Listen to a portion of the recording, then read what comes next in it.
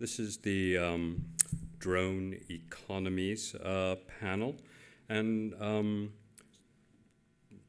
the notion of economies is certainly uh, a wide spectrum of, of possible readings. So um, I thought there might be two ways uh, to think or insert into this notion of uh, economies, um, the process of drones, uh, what I, am calling dronology.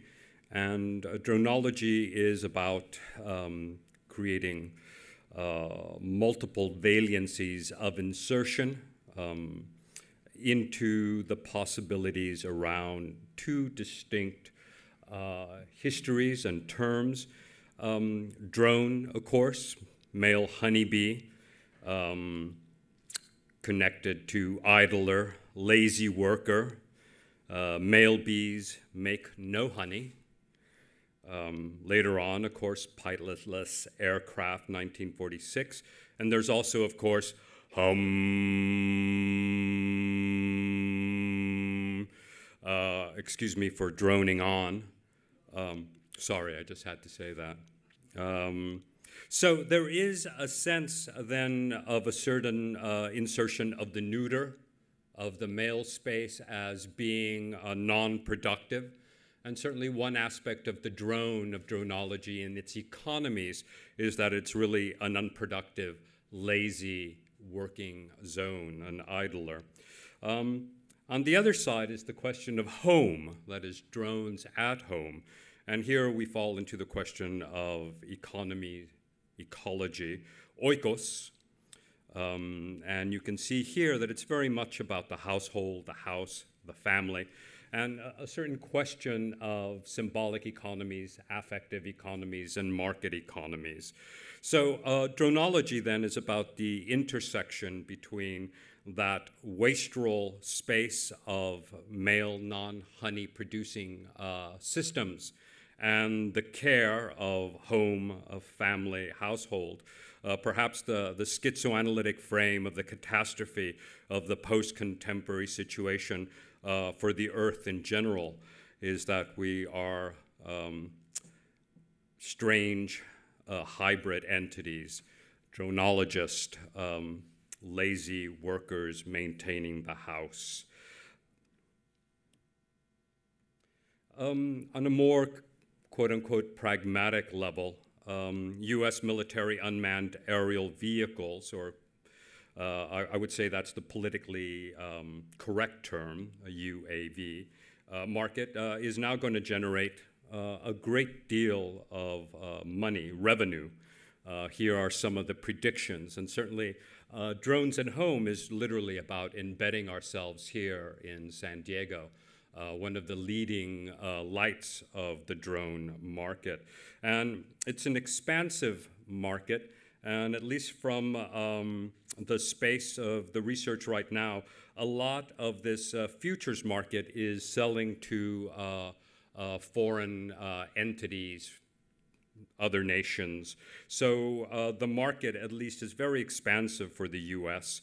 And uh, it won't stay that way for long, uh, but at least for the moment, it's uh, an up and coming uh, player in the system. Uh, in terms of um, uh, other spaces, the university is now becoming a space for homeschooled drones. Uh, the Federal Aviation Administration uh, uh, revealed that it has approved 25 universities to fly drones in the U.S. airspace.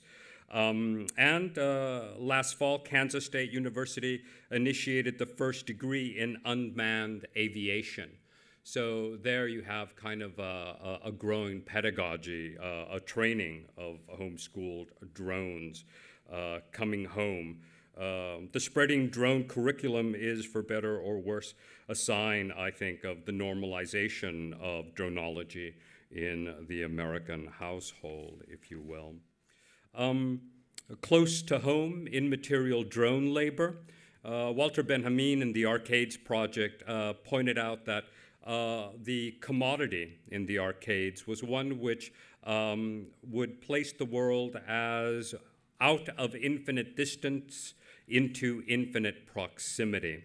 And, and certainly the, the question of the UAV slash drone uh, is a space in which it is uh, intimate in an infinity of the commodity, as we saw in the rapid uh, market evolution.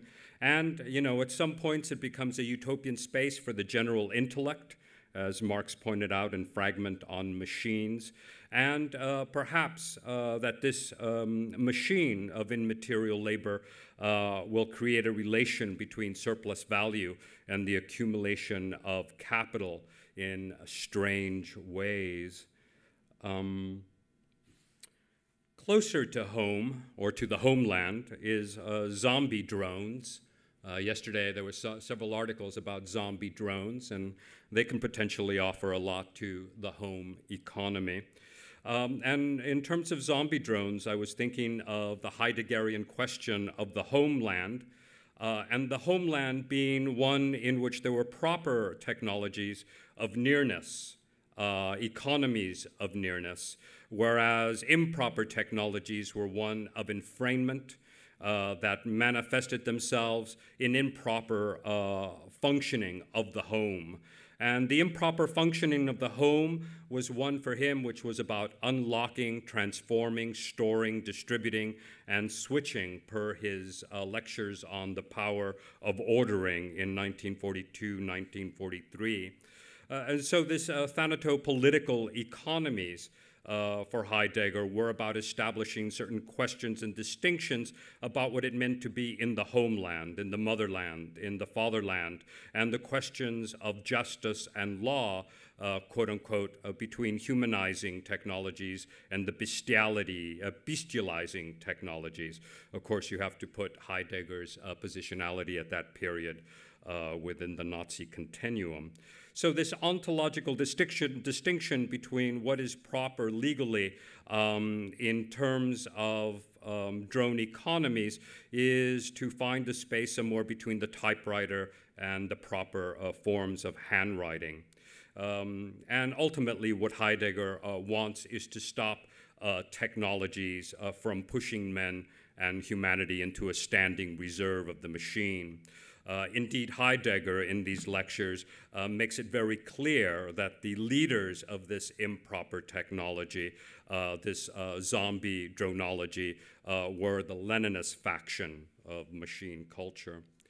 Um, this other fragment on homebound, I rather be a side drone, is something that came up yesterday in that uh, we um, can uh, create an oikos, perhaps, a drone uh, via Haraway's cyborgs, um, create uh, some connections with Freud's prosthetic gods, another biopolitics of home at play in that case, one that might have potential uh, affirmative creative instances as manifestations of what Foucault signed as the techne of the self, moving towards an aesthetics of existence, drones as an impulse of a communism of becoming uh, Gaia like. And then post homing drones um, are drones in the process of unmanning the homeland at a distance, uh, even infinitely so, and with a deep proximity that allows us to become attuned to an allegorical uh, or allegorical performatives of a collapse between infinite distance and infinite proximity where we can be both inframed by the economies of violence and the ability uh, to also reframe these infinities towards becoming otherwise, towards seeking other forms of the economies of dronology uh, via the law, via theory, via practical uh, speculation. Uh, this is more of a question than an answer, I know. So in this panel, um, we'll try to approach the ecologies of drones at home, um, both in transparent formations, uh, perhaps opaque formations, and uh, the symbolic economies of aesthetic translucency on some occasion. Um, so the first presenter will be um, on how will drones affect economies, politics, and daily life. Um, David, uh, who is here, is a scientist, inventor, New York Times a best-selling author with books translated into 25 languages. He has won multiple Hugo, Nebula, uh, and other awards. David's science fictional Uplift saga explores genetic engineering in higher animals like dolphins. Uh, his new novel from Tor Books is Existence, uh, with degrees from Caltech and University of California, San Diego. David serves uh, on the advisory panels ranging from uh, astronomy, NASA Innovative Concepts, nanotech, SETI, to national defense and technological ethics. His nonfiction book, The Transparent Society, explores uh, the dangers of secrecy and loss of privacy in our modern world. It's garnered the prestigious Freedom of Speech Prize uh, from the American Library Association. Um, our next uh, panelist after this will be uh, Professor Orion uh, Calo. Uh, open drones, uh, legal hurdles to UAV slash robotics use. Uh, Calo runs uh, the research uh, around privacy and robotics, including the disclosure by design and legal aspects of autonomous driving projects at Stanford Law School Center for Internet and Society. Calo's work has appeared in the New York Times, the Associated Press, the Wall Street uh, Journal, and other news outlets. Calo serves on several advisory uh, and program committees, including the Electronic Privacy Information Center, the Future of Privacy Forum, the Mozilla Legal Advisory Board, and the National Robotics and, uh, and National Robotics Week. He is also co-chair um, co-chairs the American Bar Association Committee on Robotics and Artificial Intelligence. And then following uh, um, uh, Professor Calo is uh, Arthur Kroker, after drones. Uh, Arthur Kroker is Canada Research Chair in Technology, Culture, and Theory, the director of the Pacific Center for Technology and Culture at University of Victoria, Canada. His most recent book is Body Drift, Butler, Hales, Haraway, University of Minnesota Press, forthcoming fall 2012. His many book uh, publications include The Will to Technology and the Culture of Nihilism, Heidegger, Nietzsche, and Marx, University of Tor uh, Toronto Press, 2004, The Possessed Individual, Spasm, and Data Trash, The Theory of the Virtual Class, uh, with Michael A. Weinstein. Uh, I have to say that uh, uh, all of them are um, new people and also people that I've read and have been part of my life in multiple ways, and it is an absolute honor to, to have you here. Uh, and uh, so now, uh, David, if you'll come plug in. That goes right there. Amazing. And then should. Oh, thunk it? Works. Um, oh, by the way, how much time each? maybe 20? Okay. I will try to keep track. Because uh, my wife talks about how, um, well, when she gave me a second chance from a bad first impression, that's why we're married. She was one of the few women who ever did. Um, she, uh, she, uh, the second impression was a three-hour Castro-length talk I gave at Caltech, and she decided that it would take a few years before she wanted to strangle me out of boredom. It eventually reached that point, however, after 20 years, so she doesn't come to my talks anymore.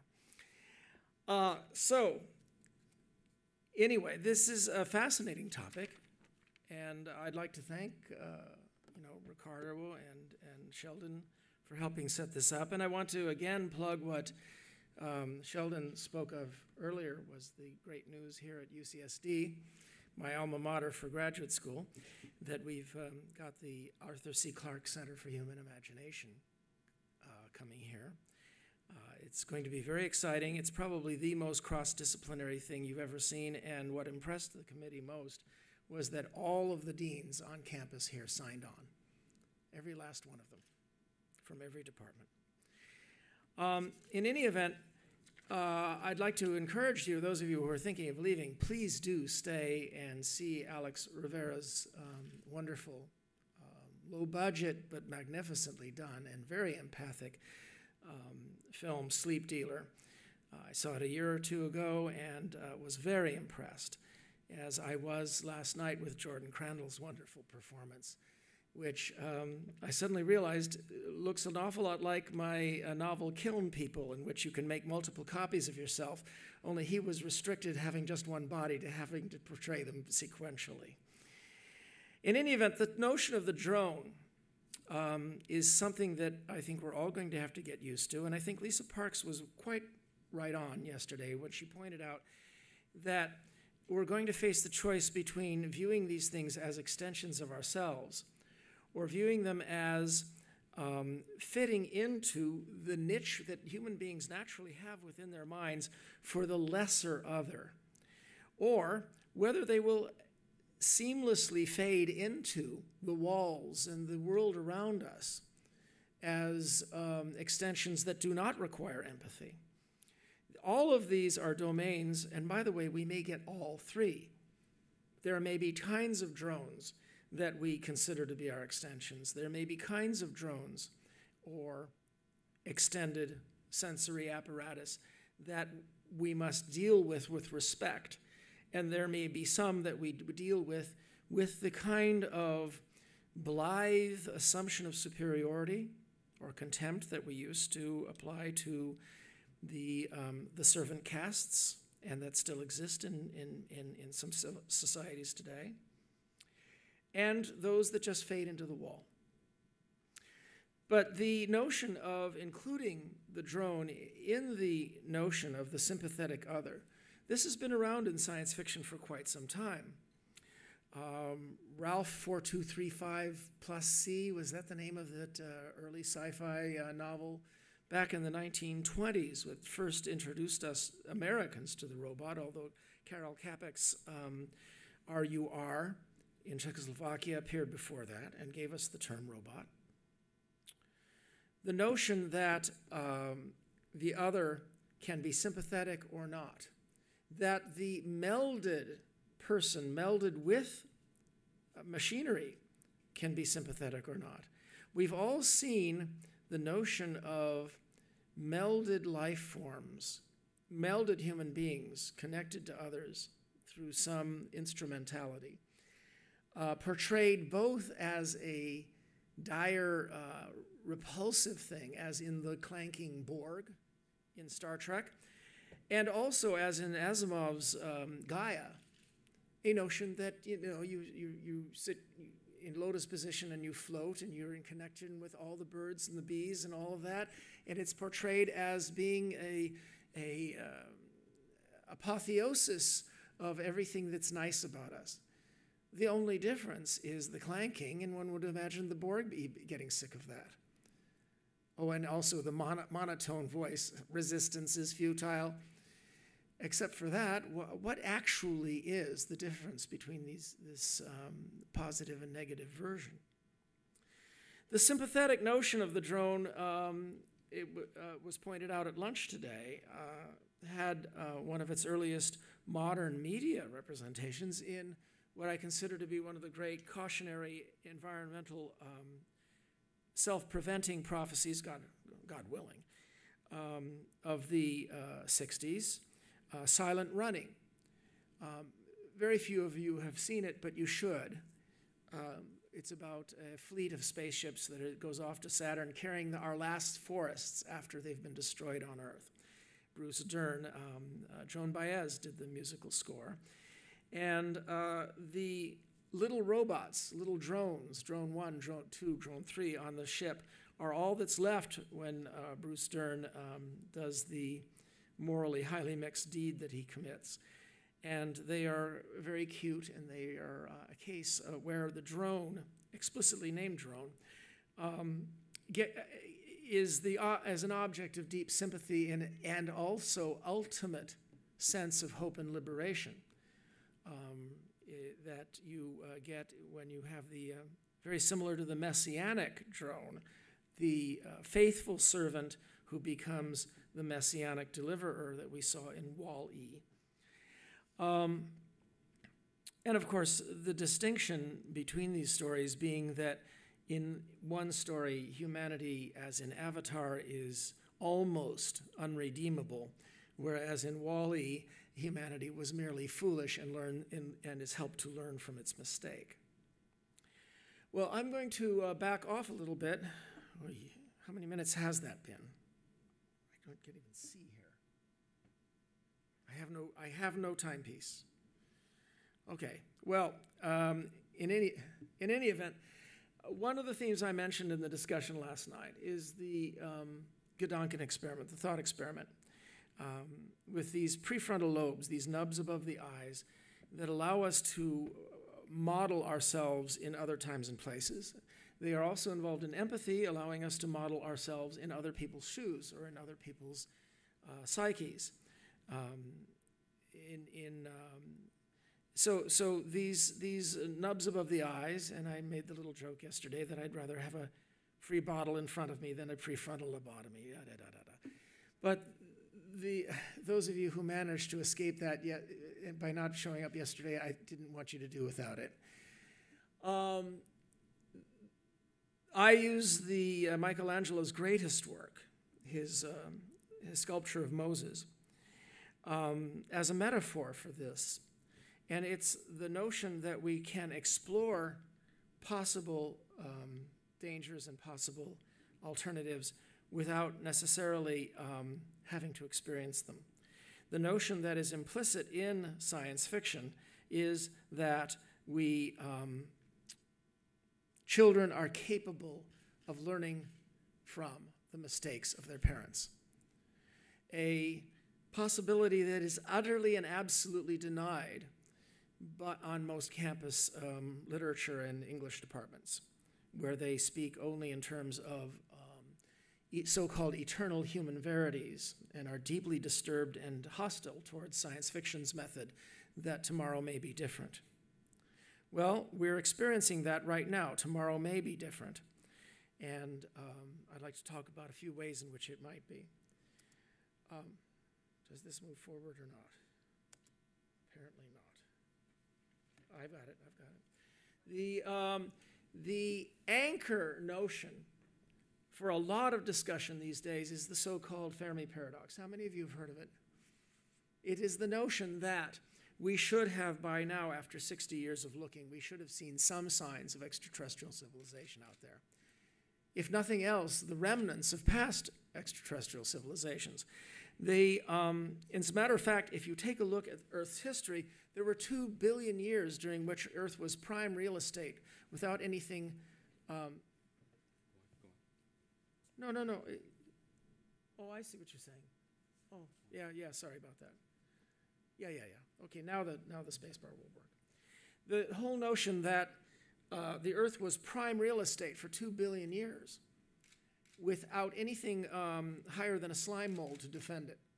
So why in these alien films do they just al- also always happen to show up just when we're around to defend it? Um, it is a temporal piece of temporal chauvinism that uh, shame on you, Hollywood.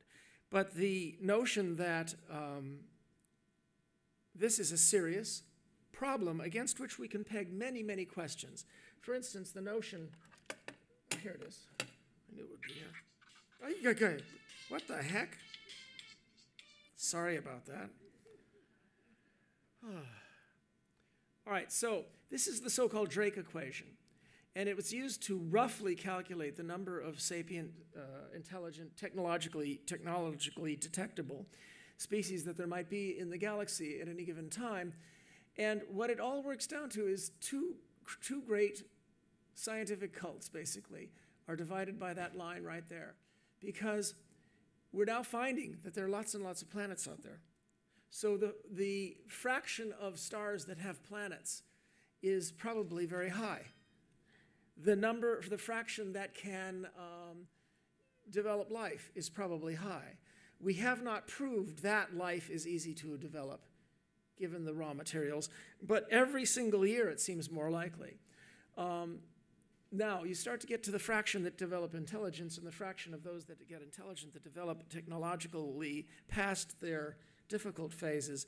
And now you're starting to get very, very, very flaky numbers. And in fact, my crackpot position is I think that humanity is got unusually smart, unusually fast.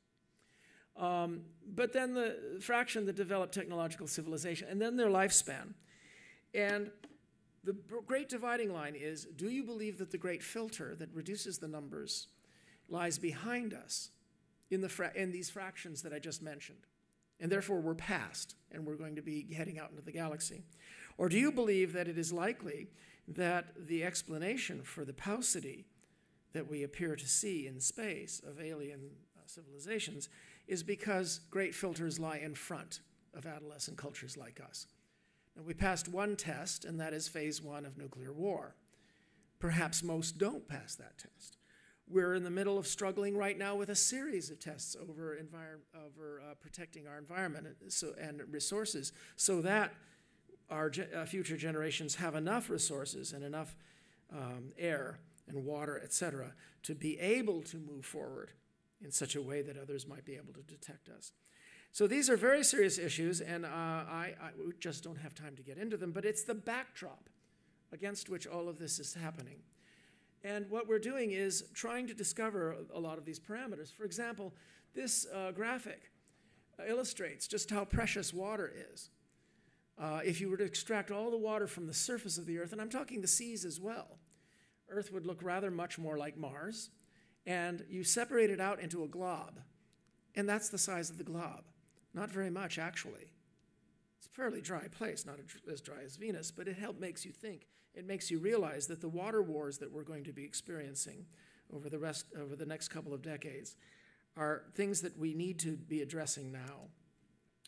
Well, the next five uh, illustrations are very unusual. They're done by the brilliant uh, web artist Patrick Farley for only for the trailer that I've hired him for for my new novel. None of these none of these glorious illustrations appears in the novel itself, but you'll be able to see them online. It's it's a very bizarre thing. Um, but in any event, what you see here is a portrayal of San Diego um, in the year 2048, and people are plugged in.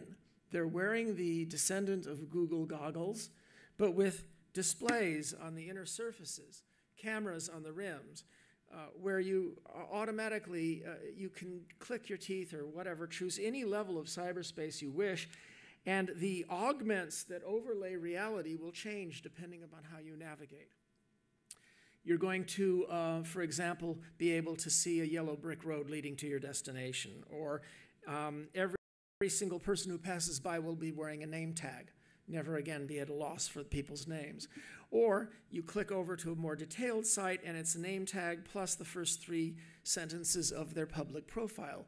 You click to a dissenting uh, site or a snarky site and you get three sentences of dissenting, dissenting opinions from their ex spouses. Um, these things are all going to uh, you pass through another site and it's advertisements, you pass through another, and, and you're getting um, real time chemical analyses of the puddle that you're about to step into.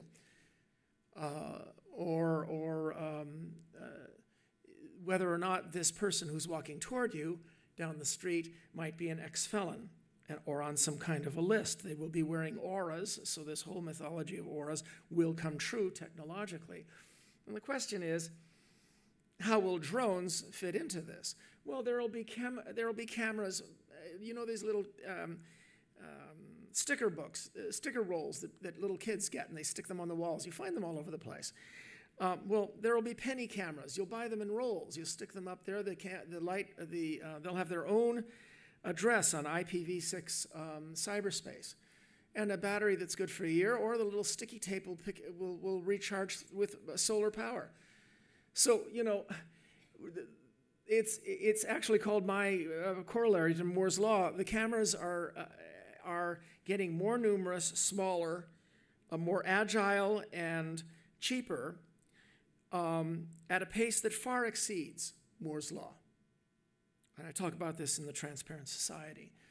Um, and the choice that we are going to face is will we panic, uh, outlaw them, and therefore all the elites will still have them, but we won't? Or will we learn to embrace this world and you learn to uh, embrace reciprocal accountability as a way to reduce the power of powerful elites, including the government. Now, uh, these are some of the others that are going to be rising up in our world. Uh, like it or not, science fiction often uh, portrays this with, uh, in a cautionary sense or a worried sense. The interesting thing is that most recent Planet of the Apes movie portrayed the rise of the apes um, not as a um, disaster, but as a, um, as a as an accident of happenstance that is not necessarily uh, a bad thing. In my uh, science fiction stories, I take it to the opposite extreme from the standard um, doctrine on, on uplift, which is what uh, Cordwainer Smith and Pierre Boulle in Planet of the Apes and and H.G. Uh, Wells did in the, in um, the Island of Dr. Moreau, and that is to routinely and reflexively portray the new technology as being vile, or the breakthrough as being used automatically for bad purposes to enslave um, the new other. That warning has been given, and so in my new in my uplift series, I portray such things having been done with the best of intentions by a civilization that desires other voices to be included for their wisdom and for their diversity.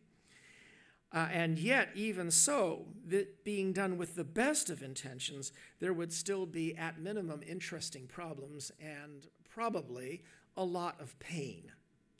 And this is what I explain to people when they come to me and they say, Oh, when are we going to start doing this wonderful thing so that 200 years from now we have chimp philosophers and dolphin philosophers join us in our civilization? I say, well, if I could press a button and get the outcome, I would do it instantly.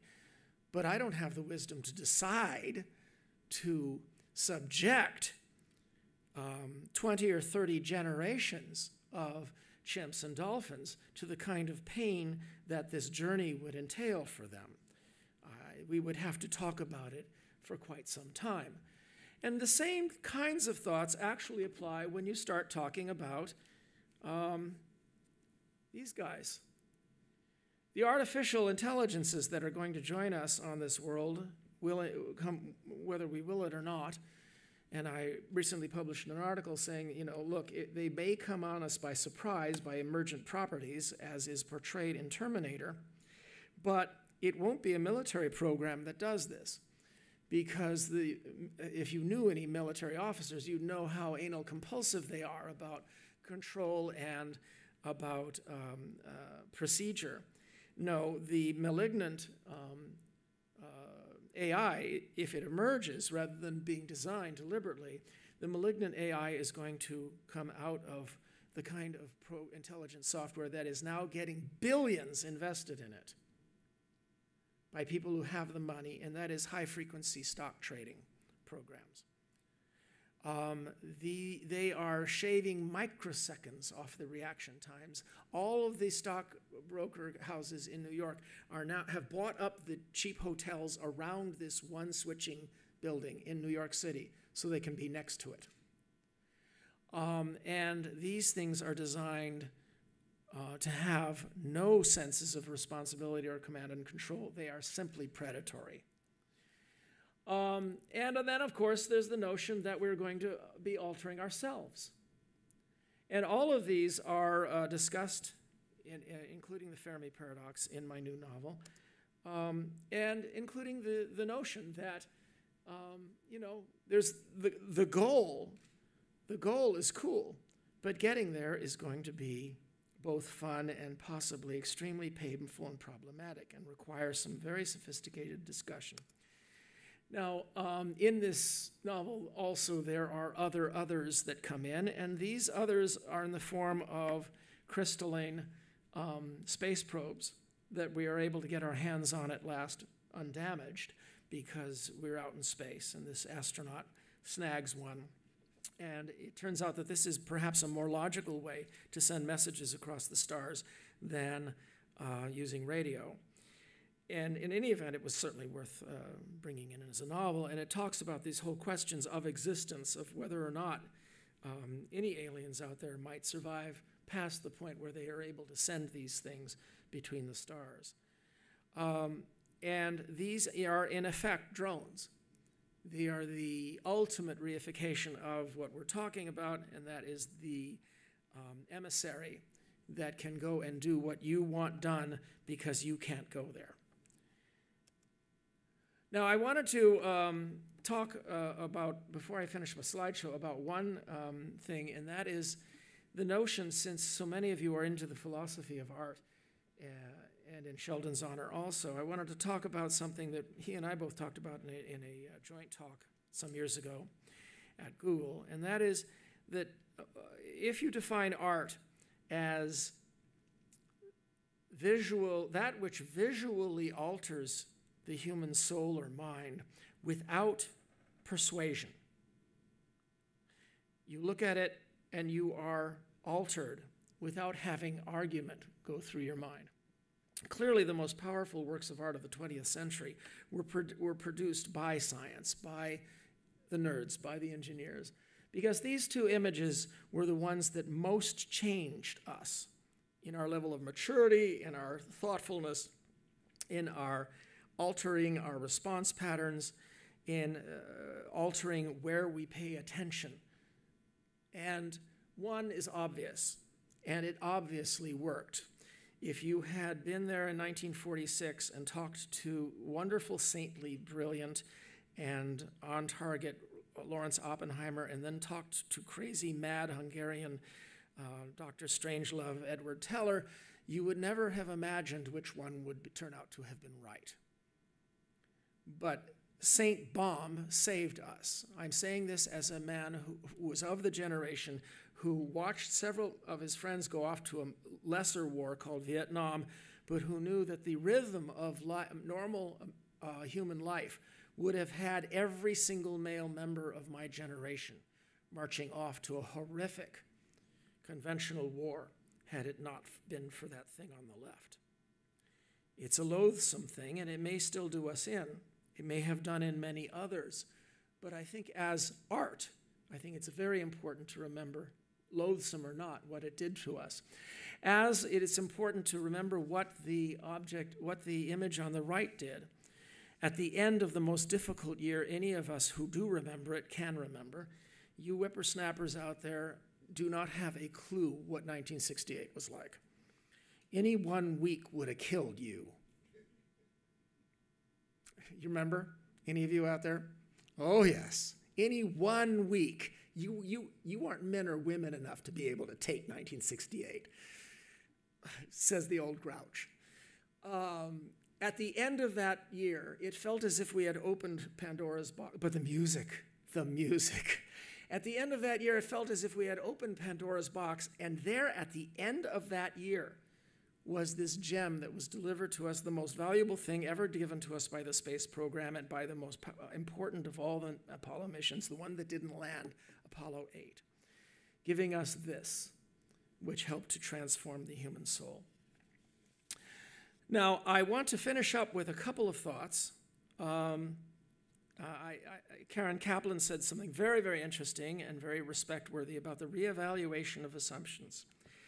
And the inability to reevaluate assumptions and get down to the core where the morality lies, rather than having to serve superficialities that are obsolete, uh, I think is very, very important.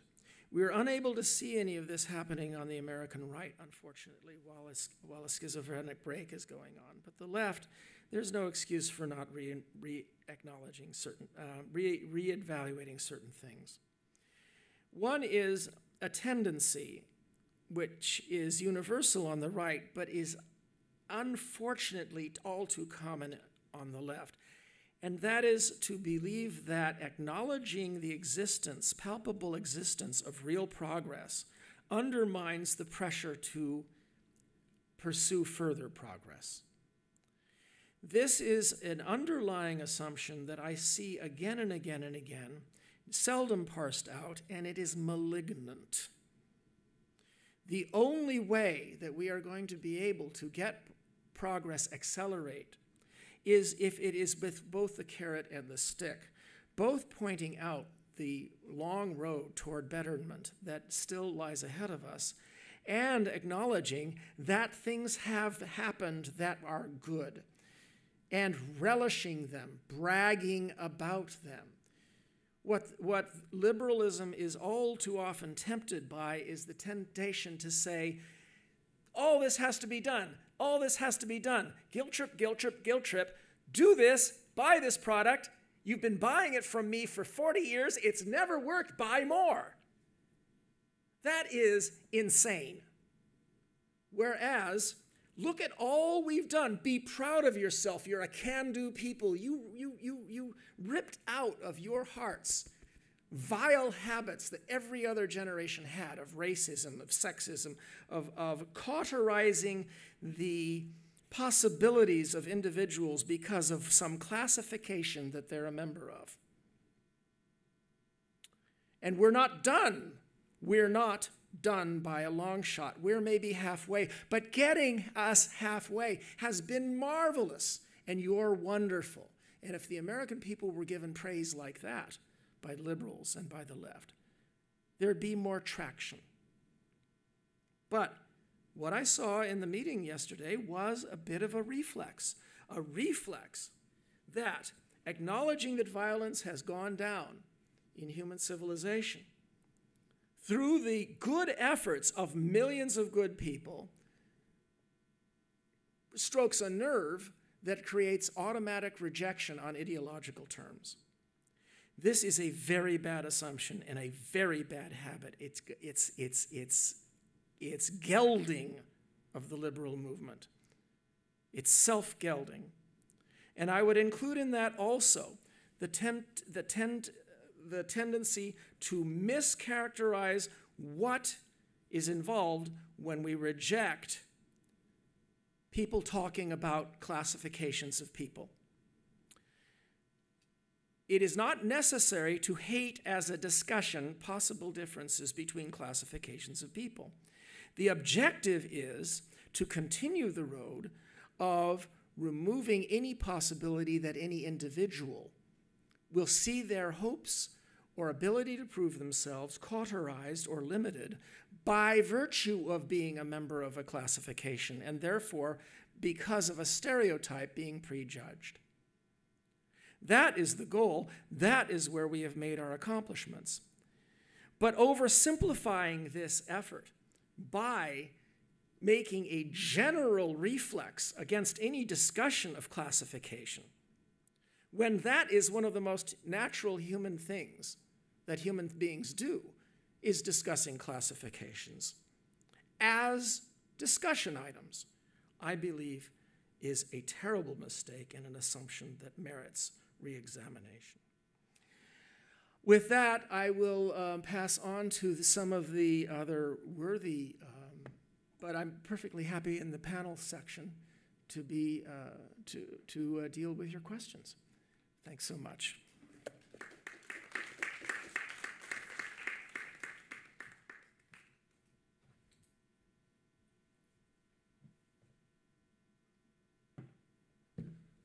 All right.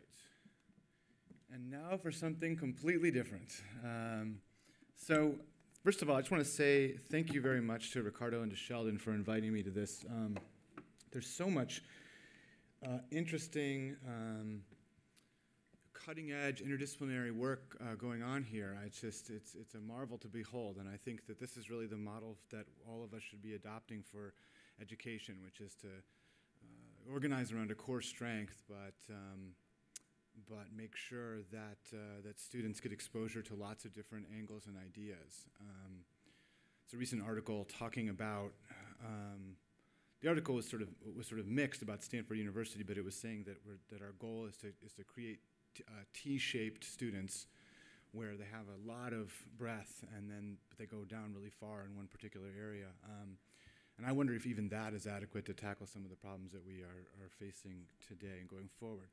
Um, so anyway, thank you very much for, for having me. Um, I'm not going to use a, a, PowerPoint today on the theory that uh, power corrupts, but PowerPoint corrupts absolutely. So my work involves the immediate commercial prospects of robotics. Um, and so, for instance, I co-founded a program at Stanford Law School with the School of Engineering that looks at the legal aspects of autonomous driving. And we got started a while ago, maybe 18 months ago, and uh, lo and behold, Nevada passed the first law allowing autonomous driving in that state. And the, you know, the state legislature uh, said to the DMV, um, I want you guys to promulgate some rules that say, you know, basically uh, that you can drive cars in the state uh, uh, without a driver. Uh, go at it. And the DMV looked around and said, oh my God, we don't know anything about this area, you know? And so then they turned to us and, and we helped them uh, to some extent by providing feedback and input about, about our driverless cars. Um, the first driverless car license, of course, was issued as a, on a test basis to Google not even a few days ago. Um, I also explore the promise and perils of open robotics, which I'll say a little bit more about in a moment. Um, and then finally, I write about privacy uh, in the context of emerging technology. Um, my technical title is that I'm the Director for Privacy and Robotics uh, at the Stanford Center for Internet and Society. Um, drones is an interesting place where those two things arguably uh, and interestingly intersect. Um, so my remarks today, though, might strike you as, as unsophisticated, as, as controversial, uh, possibly both. Um, because my basic claim is that domestic, a domestic drone is far from a, a predator, uh, maybe something of an endangered bird, uh, worthy of further study and, and possibly even of, of protection. Um, by the way, do people? Uh, just something I learned recently is that uh, did you know that the, like the famous spy, uh, maybe the most famous spy, at least in literary history, um, was named after uh, a, a, bird watcher? Does anybody people know? Ian Fleming was a was a huge uh, fan of uh, James Bond, the ornithologist, and named that character character after him. Um, and so my assumption here is going to be that properly de- deployed, that drones are actually a net good to society, but we can interrogate that assumption uh, a little bit in the Q&A. Um, and I, I, further want to advance uh, th- that the law, um, like a drone, is essentially a human instrument, and it has to be directed at uh, pre-legal goals. Um, and we have to ask ourselves, what are our goals around drones? Um, and perhaps our goals around drones are to um, harness their potential benefits domestically while at the same time trying to avoid some of the dangers. Um, so, my central point here is that the law has a role and a very interesting one in navigating the sort of the, the you know, I think inevitable um, to some extent uh, attempt to introduce drones into, into our economy. And so this really is a, a, talk about the legal hurdles to the drone economy, if that makes sense, and a very practical one in, a, in one way. Um, so one of the things I consider to be part of my job is to spot when an emerging, emerging technology is going to be transformative, right? Because that's when things get really interesting, at least to me. Um, and sort of you ask yourself, like, what are some of the ways to determine whether a particular technology is going to be um, transformative? And I think you have to watch the early adopters. And so you have to watch where DARPA is spending its money. And you had someone here, you know, talk about that. Um, you have to watch artists. And so Jordan's performance um, uh, being a, a, prime example of that, um, because actually today the folks that are, I think, making the most interesting and widespread use of, uh, of uh, robotics may actually be the military and artists. Um, certainly the case, the case increasingly with, with drones. Um, and then you have to ask yourself, uh, you know, after, after, you know, at least again, if you're trying to figure out what's interesting from a, from a, as a legal scholar, you ask yourself, what is the next transformative technology? And then what are the hurdles to that technology? What is it going to face? Um, what are the conflicts that it creates that are, that are arguably novel in some way? Um, getting the technology right is, of course, an enormous hurdle in the context of drones. Um, it turns out to be very difficult uh, to get something that can stay up for a long time. Um, uh, because it has to simultaneously be very light and also have a, a, power source that lasts over time. And these kinds of technologies, vision and other sensing is, is extremely difficult. Um, one of the hardest things is actually not getting the technology right, but getting the technology cheap.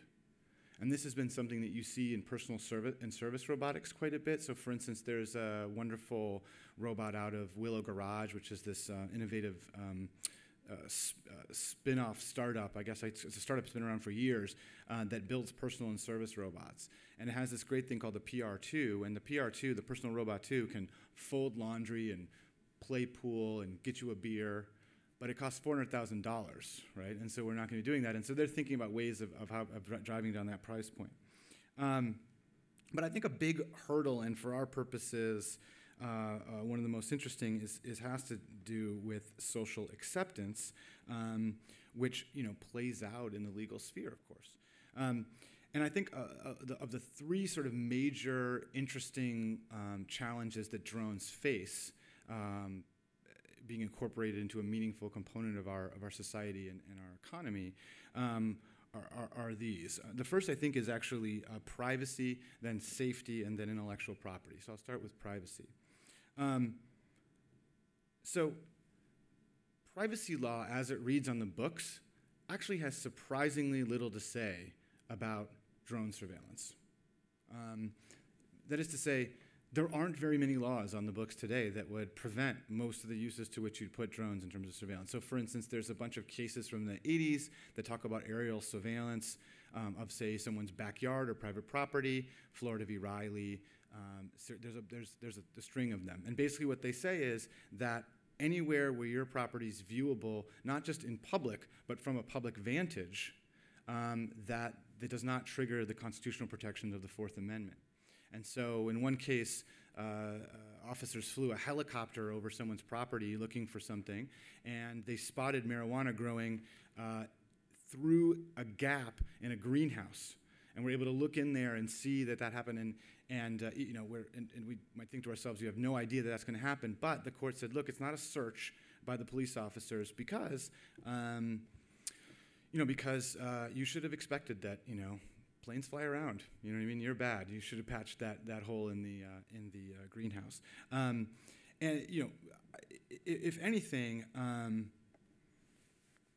if anything, there's a interesting sense in which drone surveillance um, could be more extensive than the surveillance that happens today by manned aircraft. Um, so, why would that be? Um, there is this interesting sort of subcurrent in the law that says that you have no reasonable ex- expectation of privacy in contraband. And the idea is so a very a, way, a, good, a good way to illustrate this is the dog sniffing cases, right? And so if you try to bring some marijuana or a bomb or something in a in a suitcase through the airport, officers don't need to get a warrant for a dog to come over and sniff your bag. It turns out, nor do they need it to sniff your car. Um, another example of this is um, officers don't need a warrant to field test something. So if they come across you and they secure, a, say you drop a bag of, of what they believe to be cocaine, they, the officers don't need a warrant in order to test the cocaine right there on the spot. And the reason in both instances, and there's other examples of this, but there's the reasons in both instances is that um, the only way that, that it'll be a positive sign, the only way that the dog will alert or the stick will turn blue, um, is if there's marijuana or a bomb. And otherwise, the, you know, no officer needs to see the content of your bag. And so, similarly with the, uh, the cocaine, it's the only way that thing turns blue is if, uh, is if you have cocaine in there, or, or maybe if the, I don't know, the bag's pregnant. But other, other than that, you know, those are the only possibilities. Um, so, as applied to drones, I mean, to the extent that drones could fly around and only surface information where um, they detect a pattern of unlawful activity, perhaps they could engage in much more widespread surveillance than an officer could do, right? So, for instance, um, even though the Supreme Court has said in the Kyllo decision that officers can't look into um, your house or look at your house using thermal imaging uh, because, and this is this is paraphrasing one of the justices, uh, the officers might see the hour in which the lady takes her sauna. Um, and this was like 2000, this was a relatively recent decision um, with this sort of funny, antiquated language. If you're interested, by the way, in the intersection of, of privacy and emerging technology and um, issue, uh, contemporary feminism, there's a great uh, article um, by Jeannie Suk out of Yale called Is Privacy a Woman? I, I recommend it to anybody interested in that topic. But if it were to be done by drones, uh, would, i i where the drone only ever alerted or only ever showed footage when they found some pattern that could be described as unlawful, would that be okay? Um, and students of privacy law, but anyway, the basic point is that privacy law doesn't pose much of a hurdle, it turns out. And students of privacy law will not be surprised by this. And in fact, the law, privacy law generally lags behind uh, technologies of surveillance. One example of this is that uh, we are still using a law from 1986 to govern the circumstances under which the government can get access to your electronic communications, like your email. Okay? Now, think of what was going on in 1986. It was like before Al Gore invented the internet, right? Um, you know, uh, the, the, the, the lawmakers' kids uh, were, were switching over from, from Walkman to Discman. And yet that continues to be the law today in which in, that, that, it governs. It's the Electronic Communications Privacy Act. Um, but then the question becomes, does that mean that there's going to be lots of drones, mostly used for surveillance, uh, privacy law is not going to say much about it.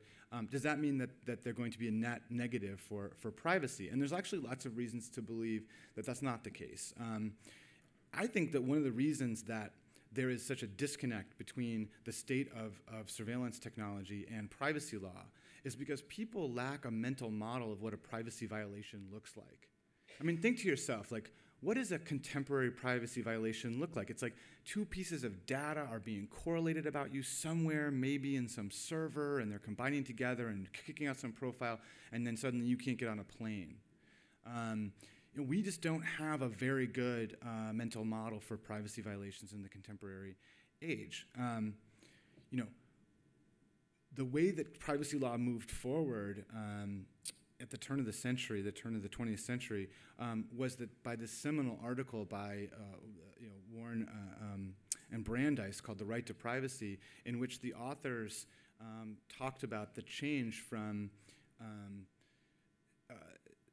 posed photography, where you had to wait um, for someone to take your picture. You had to cooperate with someone taking your picture because you had to be exposed for long periods of time, and you couldn't, you know, to instantaneous or snap photography, which permitted then uh, what they called, you know, yellow journalism, where folks could like run into your wedding and take a picture of your daughter's wedding and then splash it up on the front page. And so they said there's these technological changes in these business practices, and we need privacy law and everybody. I mean, it was it was narrowcast to the, to the, to decide, you know, to people who make decisions, to the wealthy and, and the like. Um, but folks who read that had a mental model of what was going on. They said, "Oh, I see. Used to be I had to, you know, cooperate with surveillance, and now it can happen in a way that I don't anticipate." And uh, and and that was actually the catalyst for contemporary privacy law in the United States. Many believe. Um, we haven't really had a Warren and Brandeis moment since. I would argue. Um, a good candidate is the drone because everybody has a good mental model of what a drone uh, surveillance looks like. It's this inscrutable, you know, we've been talking about this for, for a couple days. It's this inscrutable metal flying uh, object that is looking at you.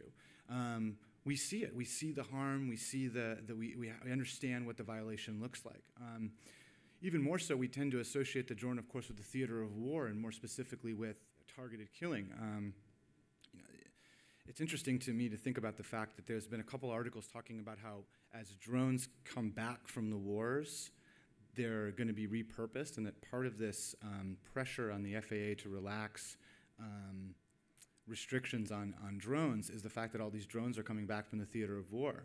Um, we don't have a similar conversation around tanks.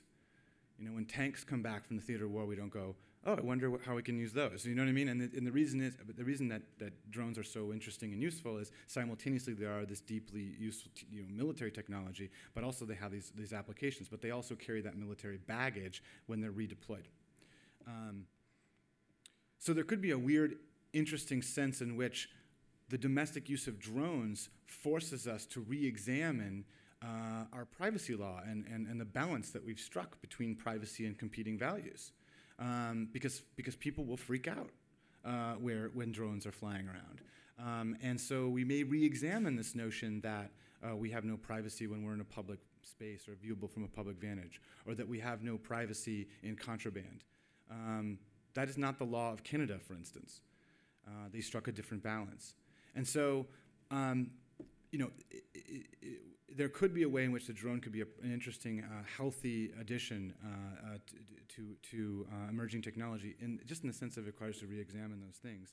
Um, I also, but also sort of in defense of the drone, then, as where I begin, is that we have to get this privacy issue right, or people won't tolerate the use of drones. I don't think, right? And so that's why I've been part of a group of people urging the Federal Aviation Administration to take to take not just safety but also privacy into account as drones get developed. I'm not doing that just to be anti-drone. I'm doing it because I believe that if the FAA doesn't doesn't get the privacy um, puts privacy safeguards in place, that um, people will, again, there'll be a big reaction to them and they won't be deployed widely.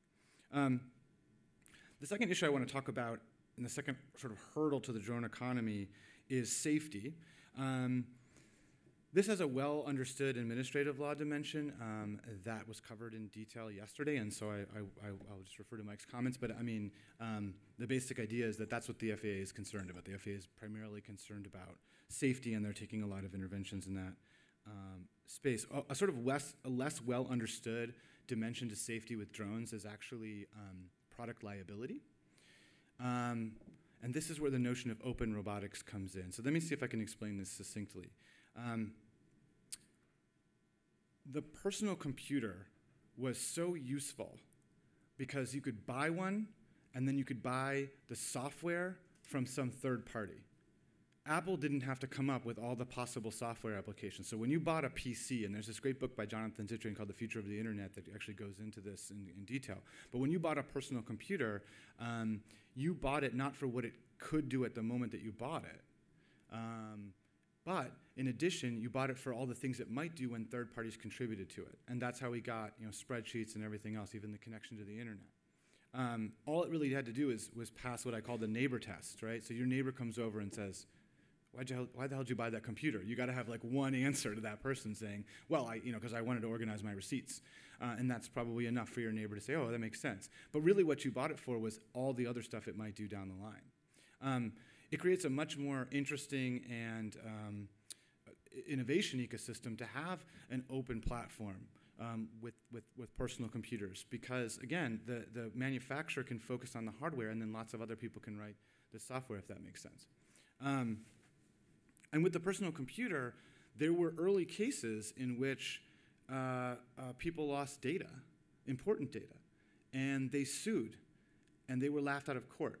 The courts were very quick uh, in the early computer cases to dismiss or cabin liability um, when, and partly on the, on the notion that um, it's just really complicated. We it's really difficult to unpack whether the glitch that happened was a function of the software, was it the operating system, if so, was it the hardware, was it something you, the user, did that you shouldn't have been doing. Uh, and so basically their position was, look, these things are, are glitchy. And they used a very specific doctrine for the most part called the economic loss doctrine that um, basically limits your liability to the um, price of the hardware or software and not the lost you know, um, economic value that you might have had or the lost time you might have had because it lost your term paper or threw out a, an important um, uh, document. Okay, so fast forward to, um, but an important limitation of the economic loss doctrine, I, could, I should say, is that uh, it only counts if what you've lost is not, is not tangible. It's not you know, basically um, getting hurt, property damage, or getting physically hurt, not covered by the economic loss doctrine. So, fast forward to drones. The best, fastest way for drone innovation to occur is for there to be drone platforms that have no dedicated purpose. They're just open. And then for lots of people to collaborate around the operating system, around the software, for lots of different people to write apps for robots the way that you write apps for mobile um, phones. That's the way we're going to sell a lot of these things quickly. That's the way we're going to advance the state of technology, I believe. Um, you know, it's easy to do liability with a closed system. So one example is the Roomba. Everyone's familiar with the Roomba vacuum cleaner, right? So the Roomba's supposed to do one thing and it's supposed to do one thing well. It's supposed to vacuum your floor. It's supposed to do one thing safely. If there was this one, there was this case in Israel where um, a Roomba sucked up a poisonous snake, and it was hailed as uh, Roomba robot hero saved family from poisonous snake, right? But God forbid, instead of a poison, you know, poisonous snake, what had been sucked up was a pet's tail. You know who to blame. Why? Because the Roomba does one thing, and the same company makes the hardware, makes or licenses the software, and so on. Compare that to an open platform, including a drone, though. Um, so the iRobot, which makes the Roomba, also made another device uh, that because so many people were hacking the Roomba and trying to make it do cool stuff that you know it wasn't built to do. That iRobot created made something called the Create, which was a platform that did not vacuum. It was just an open platform using a lot of the same tools um, as as the Roomba. Um, and in Austin, Texas, people took that thing and said, "Oh, neat!" And then does everybody here know the the game uh, Frogger? Remember that game Frogger? Yeah, so I'm seeing a lot of heads. Basically, the the the, um, the game Frogger is one where uh, a frog, this poor frog, has to like cross the street, um, and there's like or, or various other like a river, and there's various things like alligators and logs and or cars in the, in the case of the street trying to run into the into the frog, and the frog has to sort of figure out how to get across. It's an old Atari game, I think. Um, these people decided that they would throw a fuzzy uh, green suit on the Create and have it play Frogger in real life. Okay? And that's possible because, you know, hey, I don't know. And so, can iRobot possibly foresee uh, that, uh, that, that people are going to do this with the iRobot? No, because they don't know what its dedicated purpose are. Um, the purposes are. They built it to do anything. Um, were they running iRobot software? Absolutely not. They wrote their own software. They borrowed software some, from some third from some third party to do the uh, to teleoperation in this case. Um, the, the basic point is that it creates, I think, really difficult um, legal liability issues to have an open platform. And the same is true, and perhaps even more true, in the context of drones.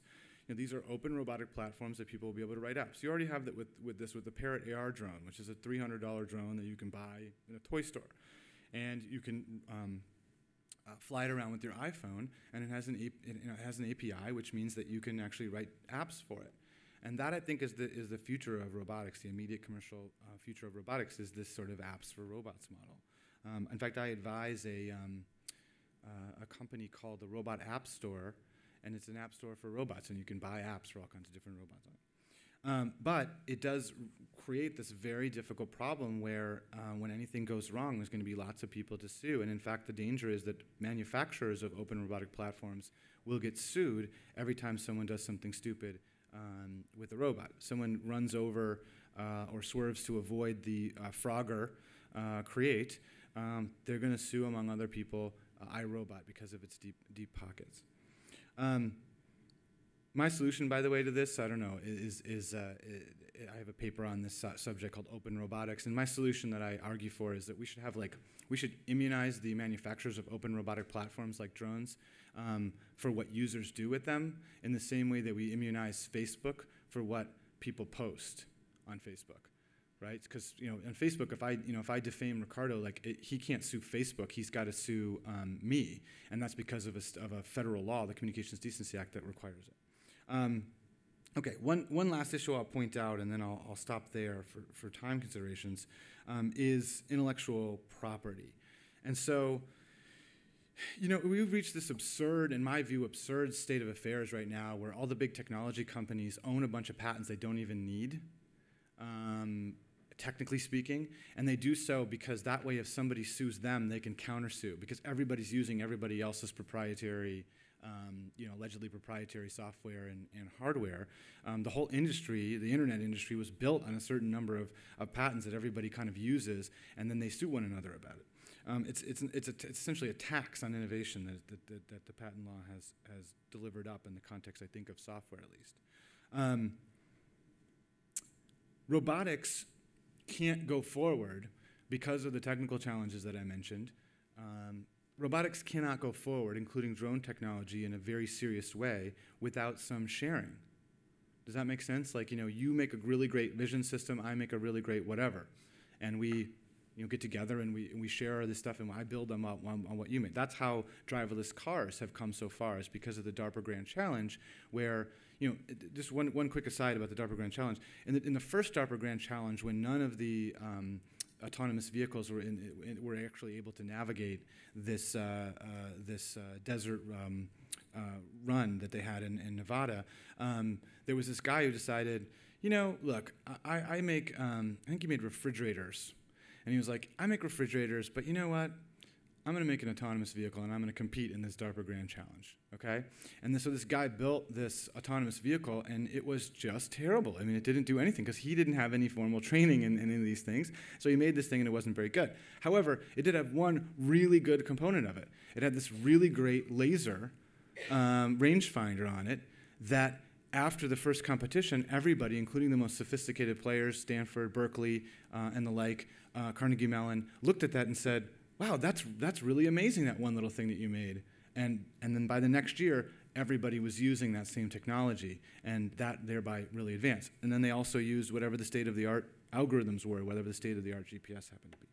Um, I don't think robotics is going to be able to go forward without some sharing. Another quick cautionary tale. Um, do people know like the Aibo dog, the Sony Aibo dog, that robotic dog, right?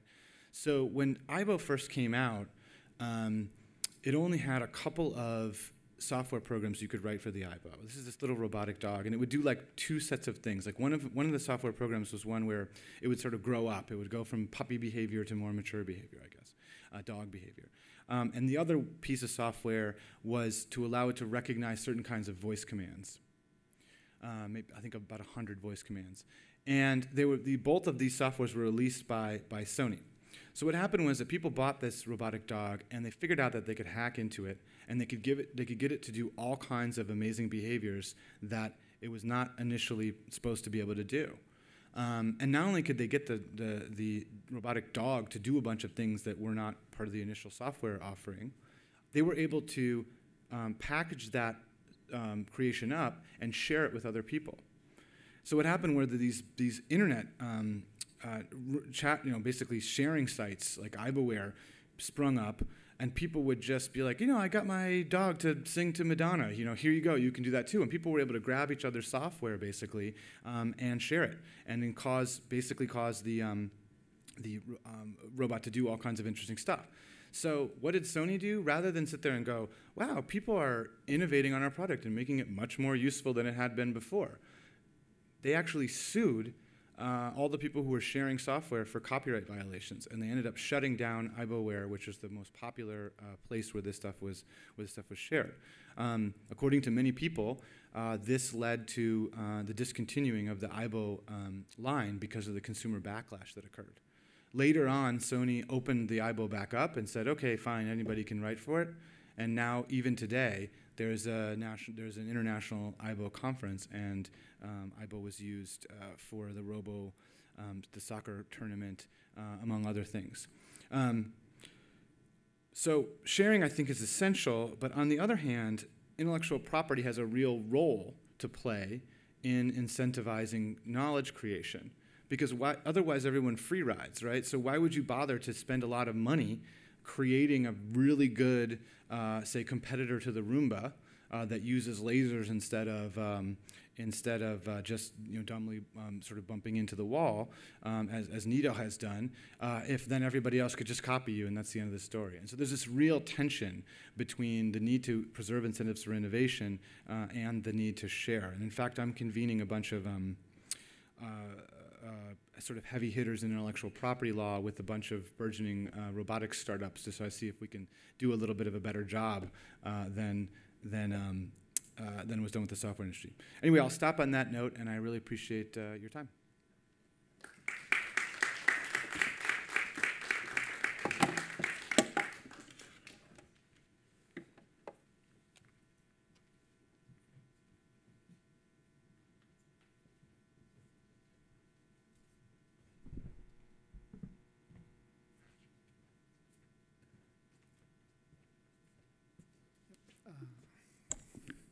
bring this down quite a bit.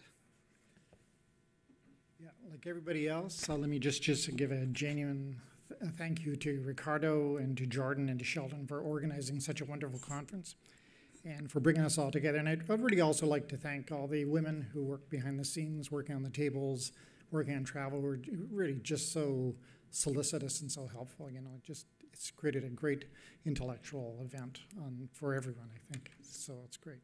So the talk I'd like to give today, as soon as I get this situated, is called After the Drones. And it goes something like this. I'd like to speak today about the moral psychogeog- psychogeography of drones, In his really wonderful book called Gray Ecology, Paul Virilio argued that the, in the age of technology, what Heidegger called in the age of, might have called in the age of completed technology, its final ineluctable aesthetic stage moves technology from perversity to psychosis, a purely hallucinatory reality which circuits languages of power and desire and fear and fascination. So I'd just like to reflect today a little bit on the notion of the drone as a symptomatic, hallucinatory sign of a reality that bears, I believe, the tangible scent of a larger cultural politics which carries within it a deeper pathology. So then I ask myself, but which kind of mass hallucination is perhaps signified by the drone, and particularly, particularly by the notion of militarized drones? Is drones signs of panic times? In this case, I believe that if their dronal power can bring strategies of visualization into such sharp focus, it's perhaps because the real circuits of power today have gone underground and to become really fundamentally undetectable. I think of the bad bitterness of an angry heart, or the palpable desire for revenge of those who Judith Butler has described and Lisa described as this morning have been rendered vulnerable and precarious in detail in the games of imperial power, or the ersatz culture of injury on the part of the Tea Party, or the anxiety of the failing middle class, or just as we discussed this morning, our panic times of the dronal warfare in response to the just war of technological liberalism, which from my perspective seems to be substituting scenes of sacrificial violence abroad for invisible but very real lack of analysis of the political economy, crisis of political economy at home. Or on the other hand, is the emergence of the drone as so much part of the contemporary psychogeography, the contemporary imagination, perhaps a sign of something else? Is it perhaps a sign of cynic, heightened cynicism? Drones, in this case, would be palpable signs of a purely delirious reality. Consider, for example, the illusion of absolute precision to mask what's been made absolutely evident at this conference the reality of chaotic violence. Like everything else, the moral ecology of drones is, I believe, caught up in a larger drift of politics and culture between the moral perversity of supposedly sanitized violence and the cultural psychosis of cultures that move between profound boredom and overstressed subjectivities. In terms of its symbolic visual imagery, the imagery of the spectacle of the drone is precisely that. It moves between interminable waiting, interminable waiting on a hovering cycle, interspersed with chaotics of sudden hellfire violence. And it strikes me that it's really an effective visual symbol of what's happened to contemporary subjectivity, which itself seems to move between an Archimedean garden of profound boredom and sometimes spasms of murderous desires for entertainment, desires for violence, and whatnot. So I'd like to just give this talk called After the Drones, which consists of several stories. And I'd like to start with a story called Drone Wars, which is a reprise and a story which also circulates in the contemporary imagination. It's been discussed at this conference already, and I'd just like to reflect on it a bit further. And of course, I have a local autobiographical reason for paying attention to the stories. It takes place in North Dakota, and of course, I was born in Winnipeg. I've taught in Winnipeg just literally miles from this, and the story took me by surprise. I was thinking to myself when I read this story, what do six stray cows and one MQ Predator B drone and a taser gun have in common? In North Dakota these days, it seems quite a lot. There's a story on the wires recently, which many of us have followed. It went like this a Predator drone, the same aerial vehicle used by the CIA to track down and assassinate terrorists and militants in Pakistan Afghanistan, was used to hunt down the Brossarts, a North Dakota family who allegedly wouldn't give back three cows and their calves that wandered onto their farm. Now, the Brossarts are the first known American citizens subjected to predator drones that the, predator, that the federal government has now made available to some local sheriffs and police chiefs all without congressional approval, as far as I can see, or search warrants. Now, local officials know the Brossarts are known and recognized for being armed. They're anti government separatists. They claim that their sprawling farm is used as a compound. So when Sheriff Janke visited the farm, he was met by armed resistance on the part of an armed father, a daughter who physically attacked him. So, confronted by armed resistance, the sheriff immediately summoned a 154 million MQ Predator B 9 drone from the nearby Grand Forks Air Force Base, where it was patrolling the US Canada border for the US Department of Homeland Security. Has a happy conclusion, Police recovered the cattle valued at $6,000. They arrested the family matriarch, the daughter, and the father as well, and the three sons. The family now faces several felony charges. The U.S. Customs and Border Protection agents fly eight Predator remote controlled aircraft to patrol the American borders with Canada and Mexico, searching for smugglers and illegal immigrants. And who knows, Maybe these predator drones are on the US Canadian border, perhaps to stop citizens of this great republic from actually fleeing to Canada for free health care.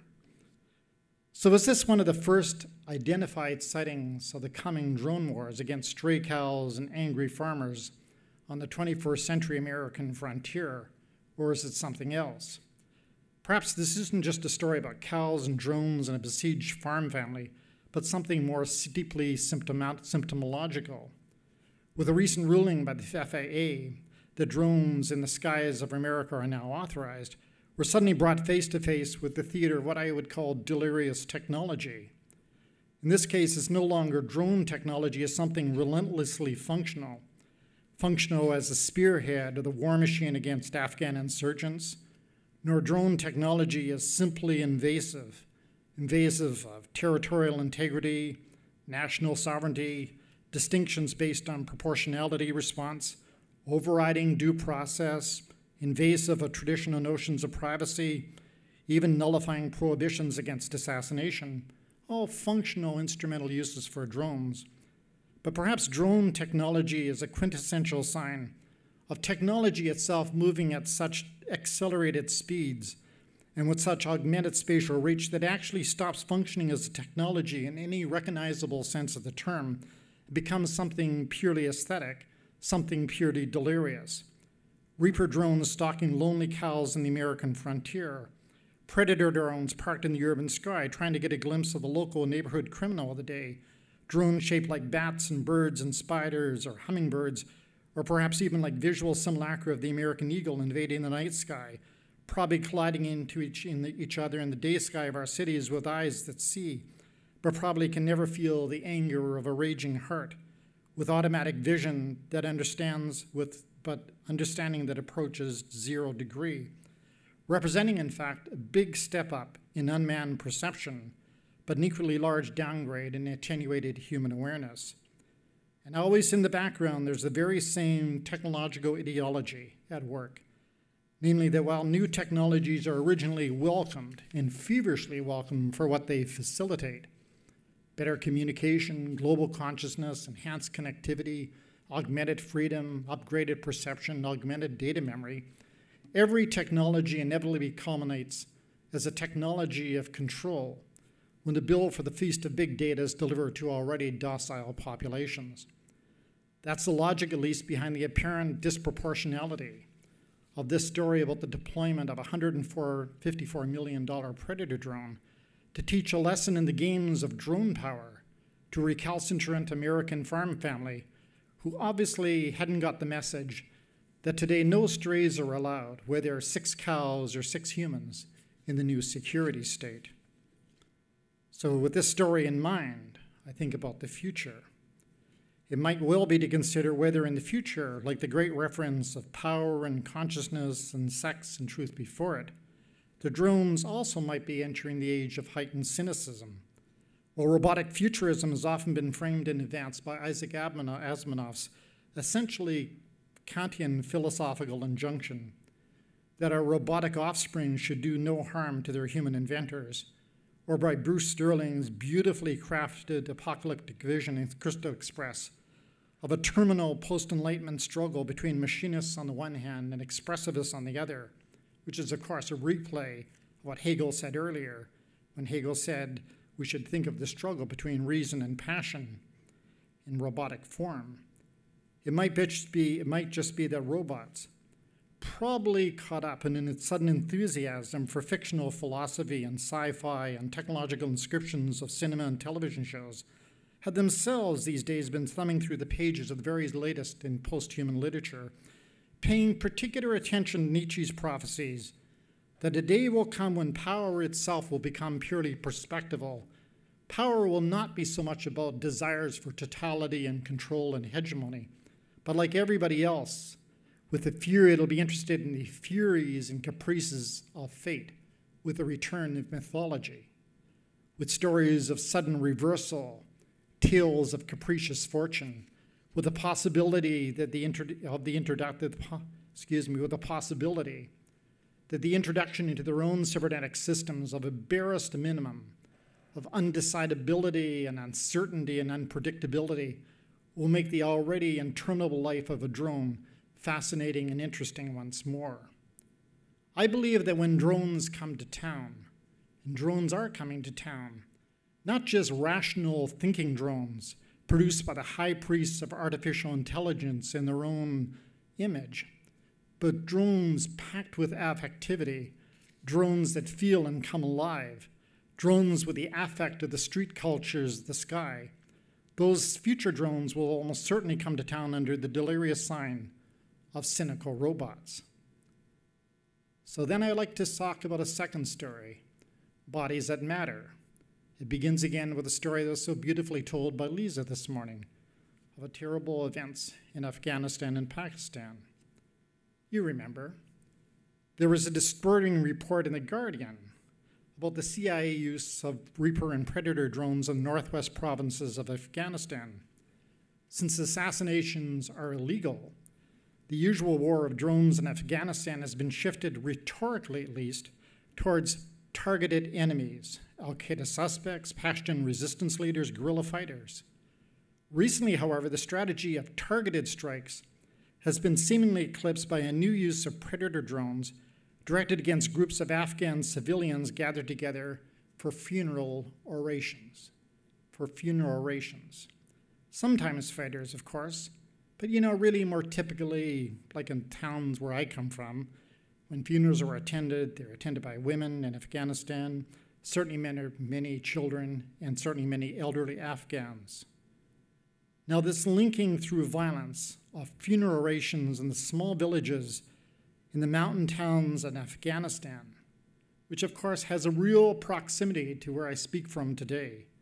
This linkage through violence of funeral in Afghanistan and sophisticated missile firing drones produced in California is one of those elemental ethical struggles that I think signals really the beginning of the 21st century and the end of the 20th century, which we believe will be marked, which I believe will be marked, by a mostly invisible but always violent struggle on a global basis between what Judith Butler has described as bodies that matter and what I would describe following this as bodies that don't matter.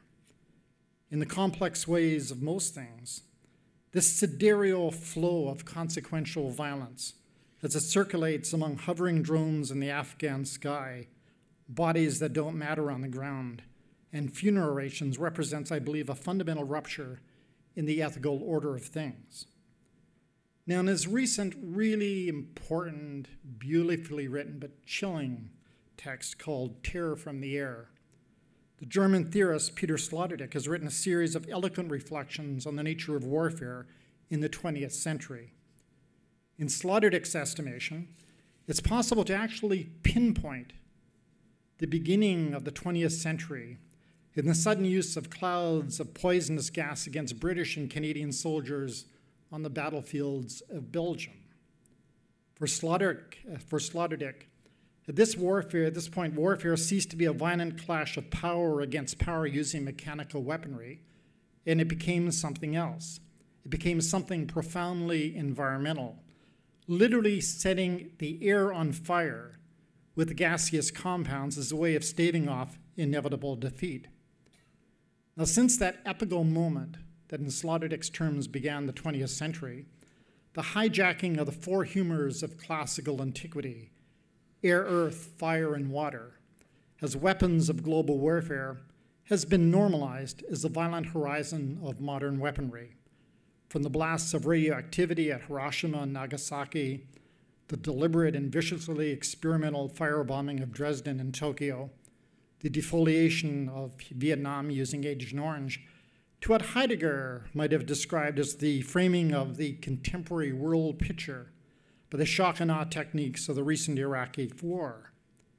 Where we have perhaps become mentally and perhaps ethically habituated to the violent sequestration of entire environments as violent war ecologies, as ways of creating docile populations, it would seem that the action of drones in Afghanistan should gain some purchase on our attention, should become proximate to our ethical consciousness, since it, it represents, I believe, a shift beyond the macro warfare with and against whole environments of air, earth, fire, and water to something else, to a microphysics of violence clearly premised on a moral calculus concerning which bodies matter and which bodies don't matter in these persistently violent times. Now, you know, inhabitants of a technological universe, pilgrims along the way, we are just surrounded daily by Chamber of Commerce type boosterism for the increasingly sterile, if not cynical, claims of cybernetic reason from business schools with their manifestos about big data, and the digital humanities with its positivistic proclamations in favor of distant reading, to Google's utopia of a life not so much lived as an archived fetal procession of events as Google's timeline, the hegemony of cybernetic reason is everywhere. So it should come as no surprise that war drones, this most cybernetic of all spearheads for the global distribution and maintenance of imperial power, should be invested with a claim, a distinct claim to originality in the ethical domain. Drones in Afghanistan and Somalia and Yemen, in Yemen and in the Seychelles now, and who can really be certain about where later, are in the first inst- instances, instance, technical manifestations of what I would describe as distant ethics. Here, there's not only a clear separation between cybernetic control of information and I think, of course, as Peter went through so eloquently today, of those video pilots targeting, target, controlling target acquisition commands on air bases in Arizona, and then going to their suburban homes as technological casualties of the war. But also dissident ethics, because with almost mythic force, political leadership itself has now literally distanced itself from the earthly consequences of their actions except in the purely specular role of emotionally invested viewers of the worldwide television that is military man, command and control today. If the two main ideologies of this contemporary day are technological liberalism and redemptive conservatism, perhaps what they share deeply in common when it comes to power is a coeval commitment to distant ethics as a precondition of the global distribution of power. And they share it not reluctantly, but really deeply, seductively, enthusiastically. While distant ethics is based on a clear separation between action and consequence, whereby only a coded telematic signal intervenes to initiate the execution phase of the drone attack, if those media glimpses of the faces of our shared political leadership is any measure, there is very real cathartic pleasure to be found in visuals of sacrificial violence. Here, for myself at least, we are finally brought into the presence of scenes of sacrificial blood flowing from bodies that do not matter, fully entangled with the distant ethics of cybernetic intelligence.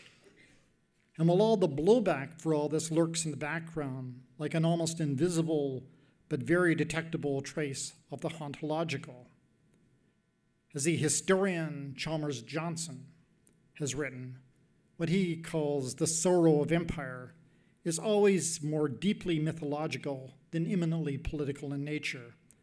Specifically, that the furies of nemesis inevitably will follow the hubris of power. Or in the case of predatory predator and reaper drones, cybernetics today not only has an ontology, but drones and cybernetic drones have a hauntology that will soon, I suspect, be the distinguishing feature of 21st century existence. And for that matter, not just living bodies that do not matter, but the targeting of dead bodies as well. They don't matter. Politically, this indicates that cynical powers eclipse the distinction itself between death and life, restaging both in terms of a greater calculus of imperial violence. Following the writings of Emile Durkheim on the social rituals associated with mourning, we can recognize that the importance of mourning does not simply address grief over the death of a particular individual, whether based on kinship or friendship, but mourning, the act of grief, has a deeper and larger social function, namely that the rituals associated with the act of mourning, the collective rituals, serve to reintegrating, reintegrate the grieving spirit of the mourner into the continuity of life of the community. So when I think back to those images of the actual deliberate targeting of funeral rations, I think that in targeting the bodies of the innocent, mourners gathered for a funeral in small and isolated and vulnerable and precarious communities of Afghanistan, what is accomplished is not only terror from the air, as Sloterdijk claims, but something else. What is accomplished is a death of community, with its consequent impossibility of reintegrating mourners through ritualistic appeals to the healing powers of life. What is rehearsed through the violent power of predator and reaper drones is, in effect, the power of death over life itself. For those disavowed, excluded, and prohibited, for that is, bodies that don't matter, what is enforced today is actually a double ethical refusal. First, a refusal to honor the dead and then, secondly, a refusal to honor the possibility of the power of life itself through mourning. Refuse both death and life. Bodies that do not matter are thus ethically marginalized to the space of the in between, to the liminal, to be the prohibited, excluded, and disavowed subjects existing in really a new space, in a nameless space, in a nowhere space that is between life and death itself. It's really little wonder for me that lawyers for the ACLU have argued that with drone attacks, literally the entire world has now become a battlefield. So, just a final point to complete the circuit of violence set in motion by drone warfare. While its basic condition of possibility is purely technological, the drone is a cybernetic assemblage linking aerial hovering motion and visual surveillance and rapid communication and while its moral possibility is premised on distant ethics, directed against bodies that do not matter, that are increasingly the majority of the global population when the world itself is now re- reconceived as a battleground, its lasting consequence, I believe, will be hauntological. Already, nations involved in the new military alliance of imperial power sense, palpably sense, the presence of the specter of the hauntological fear of revenge attacks in direct proportion to the lack of moral accountability for this deadly mixture of dissonant ethics and bodies that don't matter and cybernetic drones is surely the animating psychological fuel motivating the growth of the new security state with its augmented surveillance technologies, bunkering of the border, and severe restrictions on the mobility of nomadic world populations. While the gaze of surveillance can never detect the presence of an angry heart or the bitterness of subjects following capricious and unjustified violence, it's equally the case that fear of revenge and heightened anxiety over attempted retribution by bodies that don't matter enter a harsh note of repression into the subjectivity of the domestic populations of imperial power. The specter of revenge and the prospect of future blowback are in effect the animating affect that motivates the drift of contemporary politics to the right.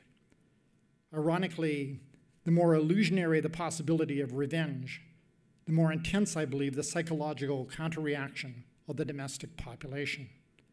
And if I could be printed, I just have one concluding story to tell. I tell a story now about after the drones. When the final extinction event has taken place, and on that lonely morning, when that lonely morning finally comes, when the sun rises on a planet of the dead and the dying, and cities of the vanquished and the disappeared, I believe the only visible motion left will be purely prosthetic. The aimless flapping of wings by vulture robots still circling in the sky on an indefinite hovering cycle. The only nighttime movement, the furtive flights of virtual bats with their beautiful memory shaped alloys and miniature specks of artificial intelligence, and the only sounds those of the remaining virtual hornets or swarms of robotic bees, or perhaps by that time, spectral flights of dragons fashioned in some long forgotten and now abandoned Stanford robotic research lab by a graduate student in software engineering who, following the literary footsteps of all the great futurists of what was then the human world of Philip K. Dick and Neal Stephenson and Raymond Gallun, read Games of Thrones with such feverish intensity that his mind immediately generated its own robotic offspring in the form of perfect simulacra of flying dragons, indefinitely nuclear powered. The bones of the last of the humans may have gone to the burial sites, but surely their residues will remain in the form of the lingering mechanics of clones and drones and androids and virtual zombies. And on that day, I wonder who the I wonder what the real survivors of the extinction event, bats and rats and beetles and cockroaches and eagles and vultures and hornets will have to say. When a turkey vulture looks a virtual vulture in the eye, will it feel technological envy at its prosthetic finery, or only a sense of shame that it has to share the daytime sky with robotic pretenders on a terminal doomsday flight to a, cyber, to a final cybernetic spasm when the virtual vulture eventually crashed Earth for lack of power. And what will real swarms of truly angry hornets make of their own simulacra? Will they turn on them in predatory fashion, mocking their sudden defensiveness, or will they simply swarm on by like hornet like with hornet like indifference? And what stories would Japanese samurais have to tell about their virtual descendants in the form of the Lockheed Samurai MAV drone? And what memories biblical will crack open the earth and will open the graves of the dead when they hear the war machine robots called Old Testament names like Reaper or the Predator circle the earth in one last search for the Messiah that never comes? Once the human shield of technology has been revealed, has been removed, I wonder how long a microbat will last, a virtual worm will squirm, a turkey vulture will hover, an army of simulated ants will continue to dig, or a human clone, for that matter, will continue to drone. In his essay, The Question Concerning Technology, Martin Heidegger, I believe, was both right and wrong. He was certainly correct in noting that human identity has been so deeply shaped by being swept along in a larger, ineluctable technological destiny, not of its own making, and certainly outside its full comprehension. But I believe that Heidegger was wrong in not noting as well that the destiny of technology is also deeply enmeshed in the mysterious ways of that singularity, that beautiful singularity that we call a human being.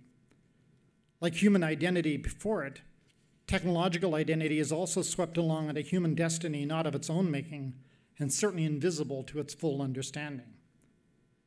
And just as humans came into their essence with an understanding of technology, so, too, the future of technology may only come into its full essence with an understanding of human ineluctability. After the drones is, I believe, going to be a strange world of strange symmetries and strange symbiotics, a world filled with drone flesh. Heidegger again. In his letter on humanism, Heidegger argued that the epoch of the human began with what he called our coming into subjectivity that we would be vibrant beings invested with a sense of the technological mastery of nature.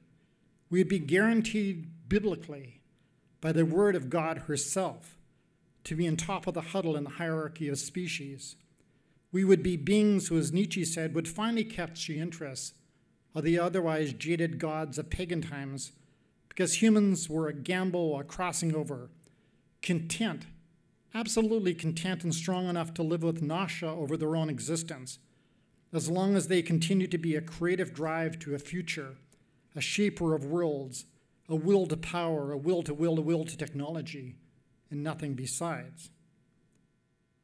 So, if this is the case, perhaps now we can write an epilogue to Heidegger's letter on humanism in the form of text messages about the post human that point where something equally epical is now taking place, where the post human body literally shapeshifts out of the old body of the human with its now discarded subjectivity and takes on the virtual form of drone flesh. Not a human being now coming into subjectivity, But something else is happening. A post-human being is coming into transsubjectivity. Like post-human culture, drone flesh is absolutely present everywhere today. We are being like a drone, thinking like an algorithm, seeing computationally. We're packed with technology. We're volatilized by the kinetic energy of connectivity. We slump into inertia when kept on our waiting cycle. So I believe that if drones can be so fascinating and endlessly seductive, both for their engineering feats of the technological sublime and their truly doubled nature as beautiful specters and ominous skin slayers, that's because their appearance only confirms a subtle, but for that matter, no less dramatic change that has already taken place. Namely, that long before there were drones in the sky, in the water, and the fire, and the earth, there were already imaginary drones at home drones that long ago nested in the technological skin of the posthuman, drone dreams that took to the flesh of the very first of the posthuman, burrowing deeply into the bodies and minds and feelings of a once and future population of trans subjects. In the way of all mythic stories, technology always comes late to the feast. Long before the technicity of unmanned perception, augmented intelligence, and robotic flight the post-human imaginary has already unraveled the illusion of the real, of the technological real in advance. This is what makes contemporary post-human culture so tough and absolutely adaptable. It is prepared as a form of trans-subjectivity, as a form of dronal flesh, to actually do that which has never been done before. It is prepared to serve as its own condition of possibility.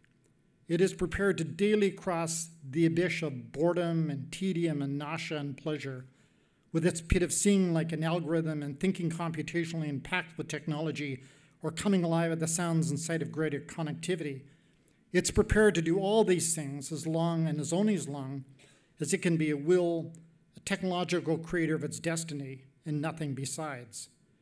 Trans subjects, in fact, have always demonstrated an enduring willingness, willingness to live with the dangers of technology, not so much to experience the saving power of technology, as Heidegger's claims, but to do something more interesting, namely to live in the fractured, liminal, and unpredictable space between the danger and the saving power. And I'll conclude. This is, I believe, what is most appealing about drone technology is its fatal incommensurability. It's truly dangerous. And at the same time, it may even be a saving power. But in the end, it's neither one nor the other. It's both at the same time. And it's precisely because it introduces a fatal, what Jean Baudrillard calls, a fatal enigmatic tension into existence that we can find ourselves finally, excuse me, that we can finally find ourselves truly comfortable and fundamentally disturbed with the prospect of being wrapped in the skin of your own flesh, sometimes on the outside, but now always deepest in our interior dronal imaginations. Thank you very much.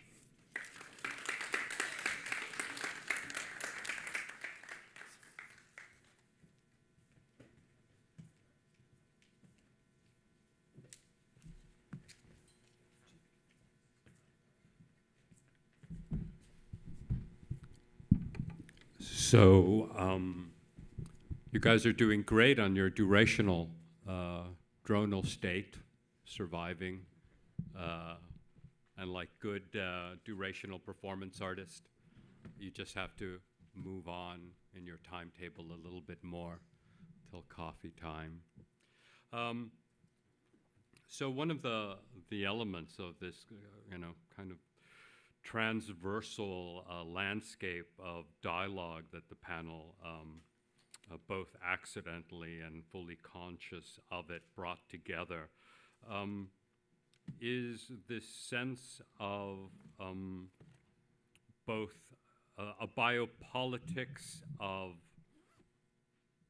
death, uh, guaranteed and amplified uh, by the general intellect of uh, dronology, yet at the same time, uh, a biopolitics of affirmation of uh, impossible possibilities that allow us to sense uh, something other than what we are towards positions that in one way, in David's talk, will offer us a, a horizontal singularity uh, where we can uh, share multiple gazes uh, into the realities around us uh, and look at the opacities of power and shift it otherwise. Um, in terms of the economics that are uh, functioning to uh, limit the possibilities of robotics in the moment and as it's rolled out in the pragmatics of the FAA.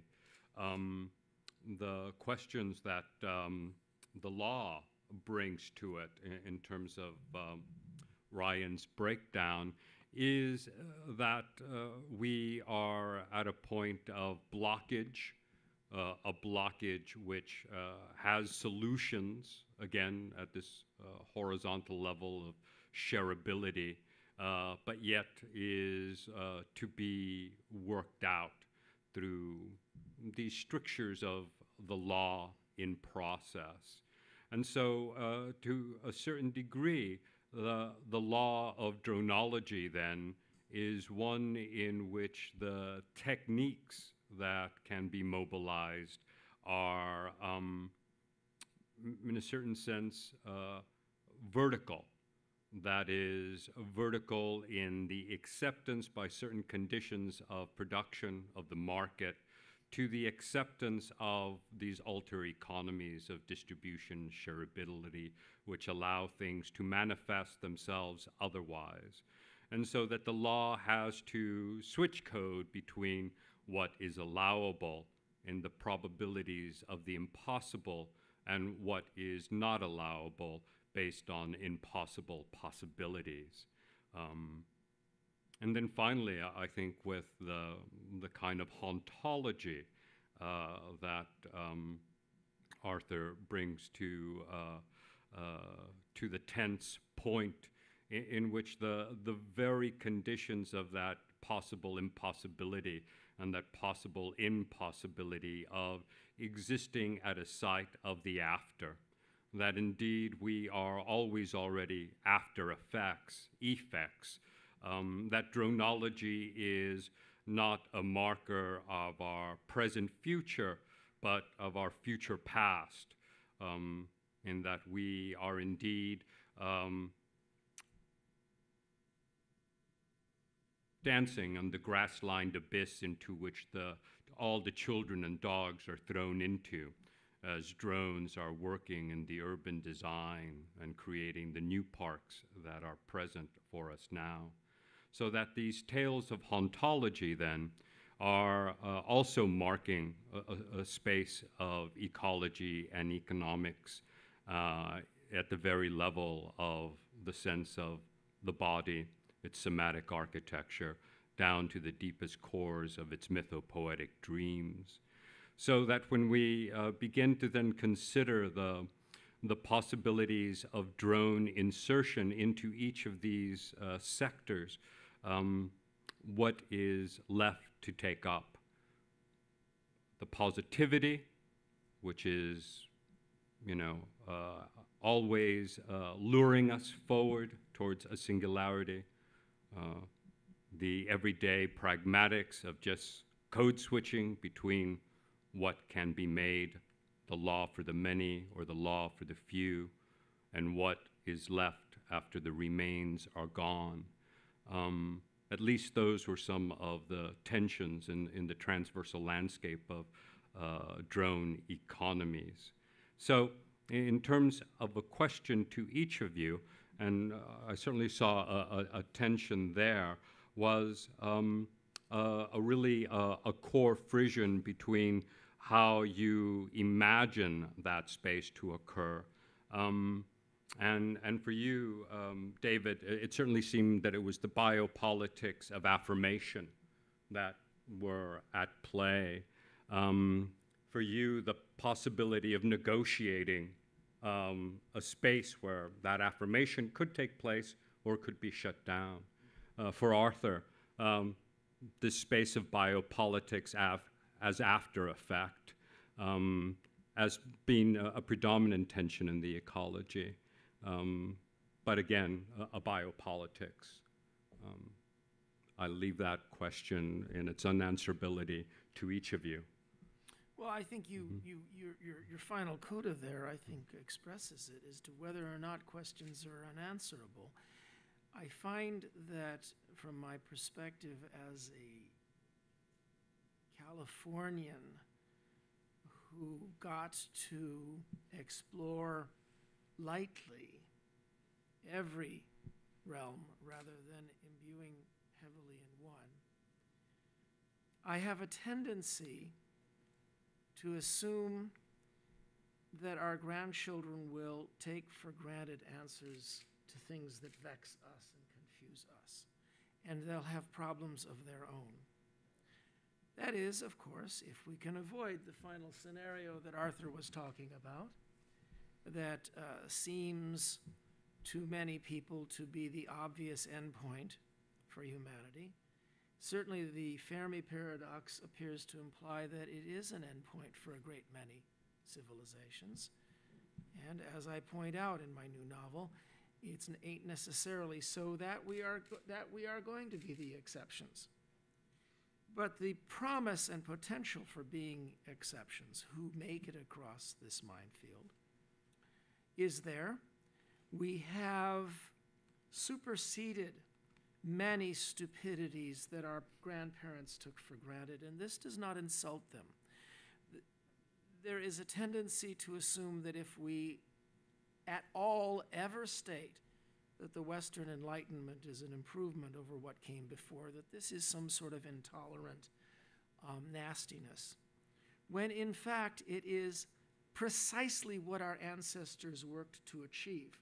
Our ancestors having brought cultural influence and diversity from every corner of the earth, and having learned an appetite for diversity, having learned an appetite for relentless self criticism, of which the critics of this culture are themselves living examples, often without taking the pause to realize that when they are so deeply criticizing the very culture that imbued them with this habit, they are reflecting and pursuing and almost chauvinistically preaching the core message of that culture. Because no other culture ever raised its children with the habit that thou shalt by all means as your first reflex, criticize the very culture that suckled you.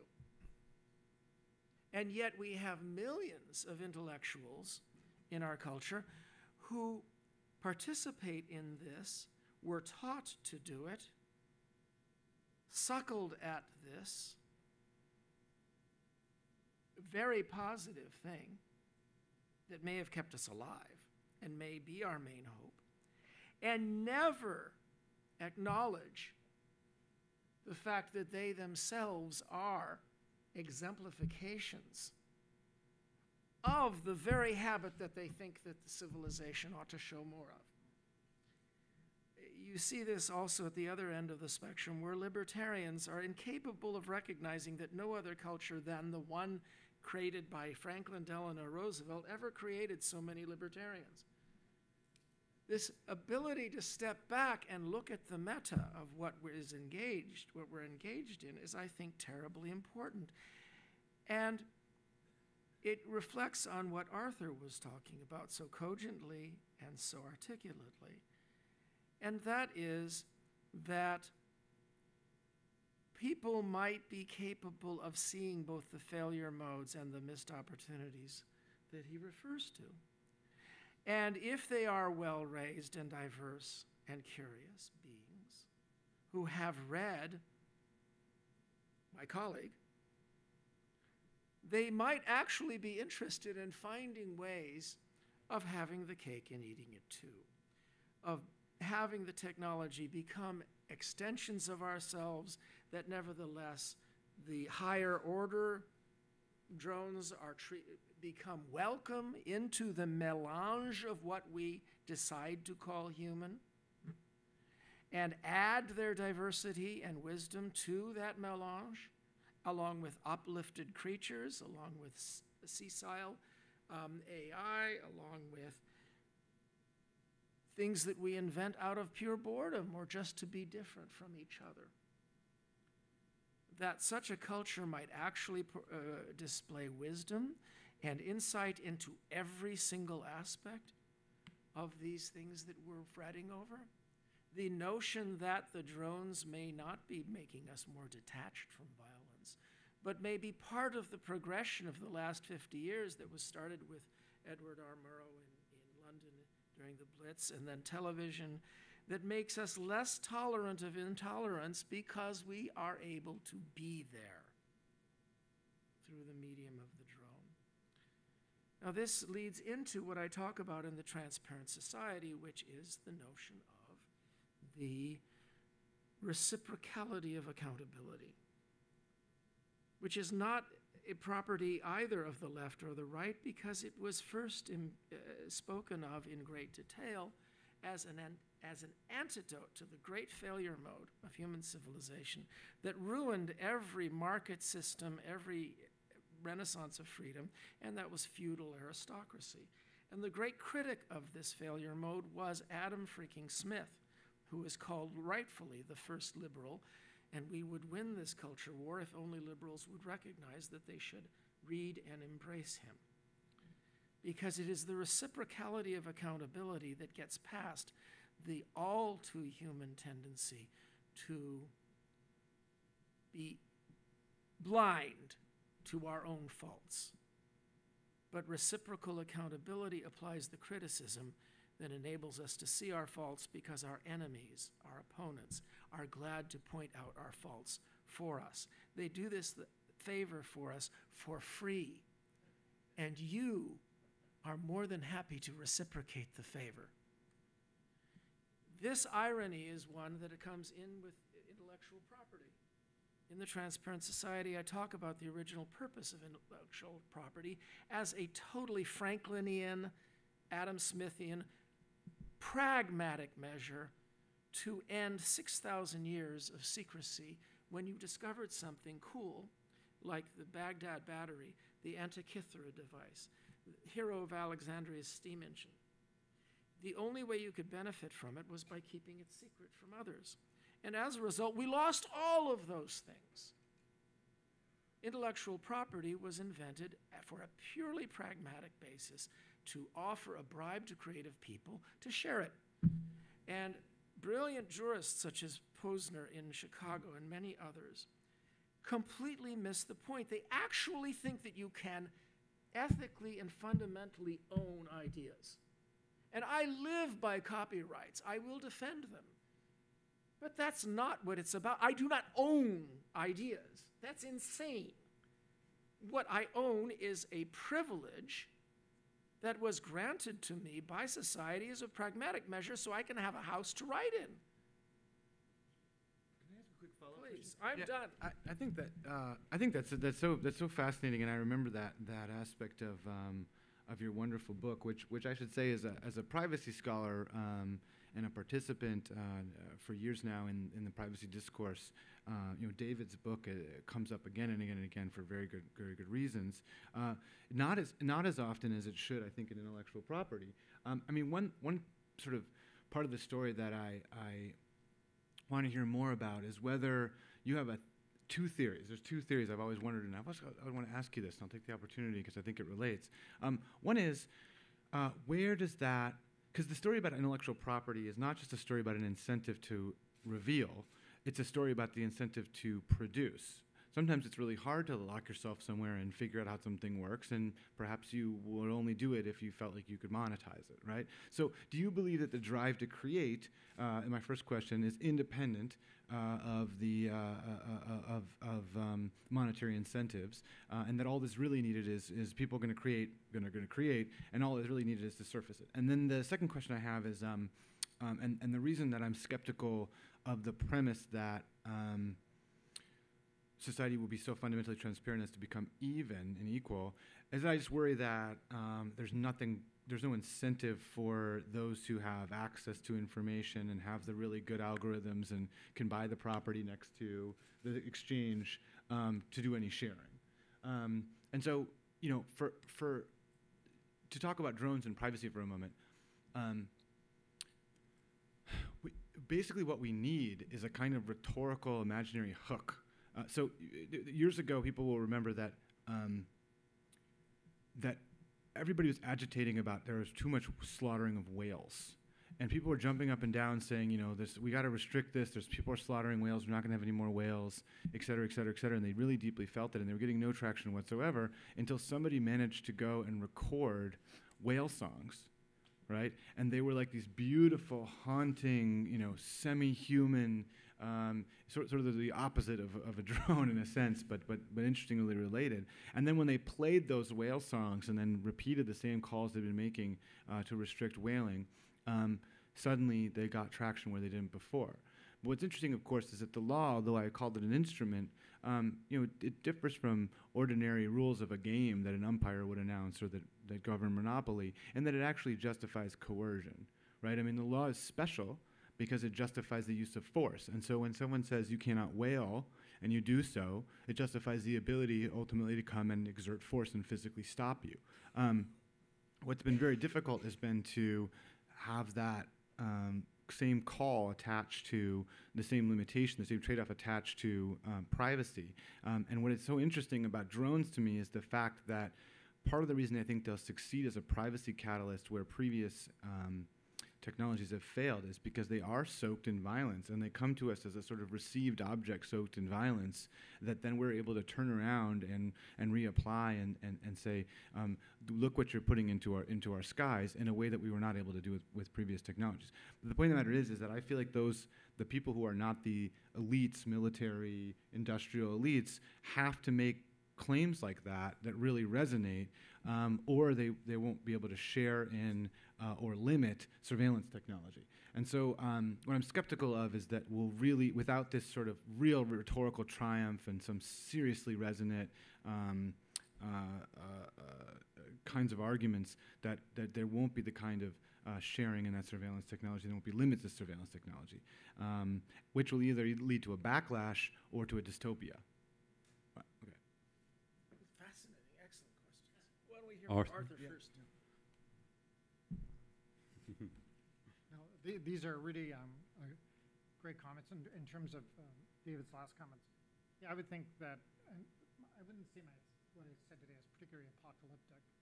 I think things, it's a transitional stage, and humans are just getting started in a new species existence. It'll be called transsubjectivity, and it's post-human because it's going to be mixed by a lot of hybrid mixing of species, which is already well underway itself.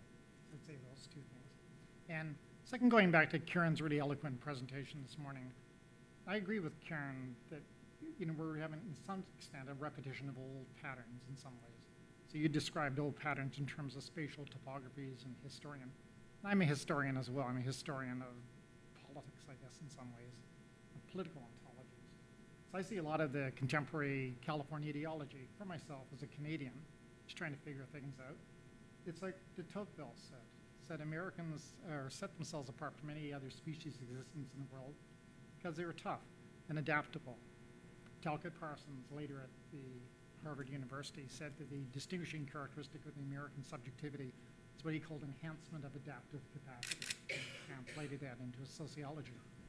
Tocqueville put it more eloquently. Mer- Tocqueville said Americans crossed the continent, crossed, fought the wilderness. They had an axe and a Bible in their respective hands, an axe and a Bible.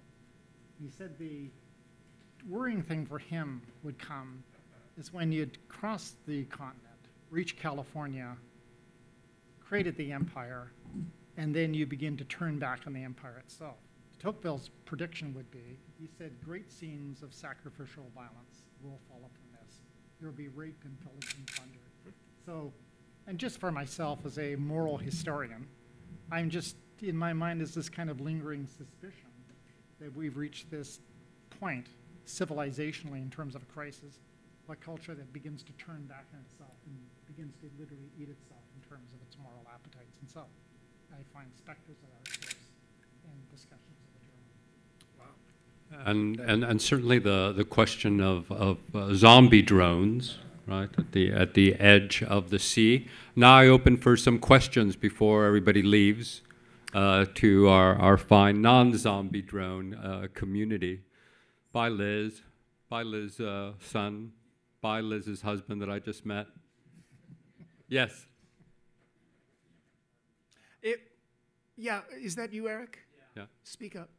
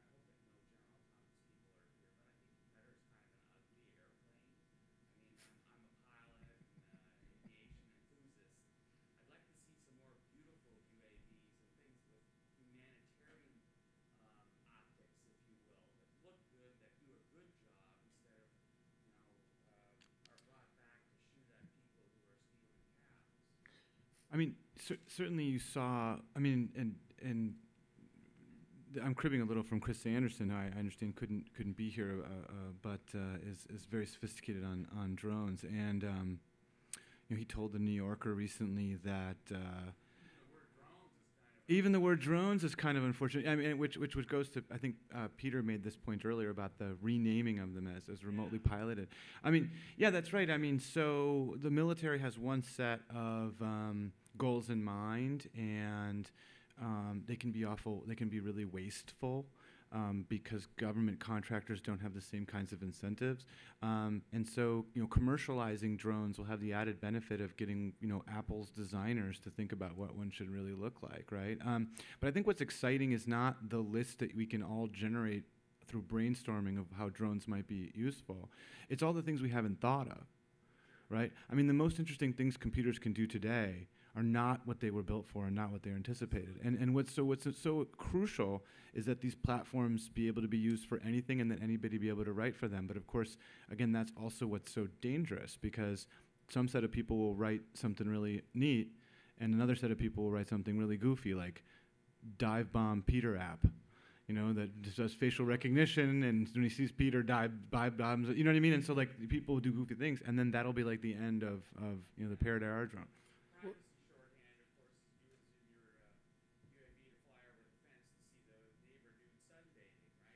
What, what, yeah, and one last thing about this, and I'll shut up. But I mean, um, wh- when the Parrot AR drone that I keep mentioning, this toy, uh, it, when you control it with your iPhone, uh, the first app anybody wrote was a rec- video recording app.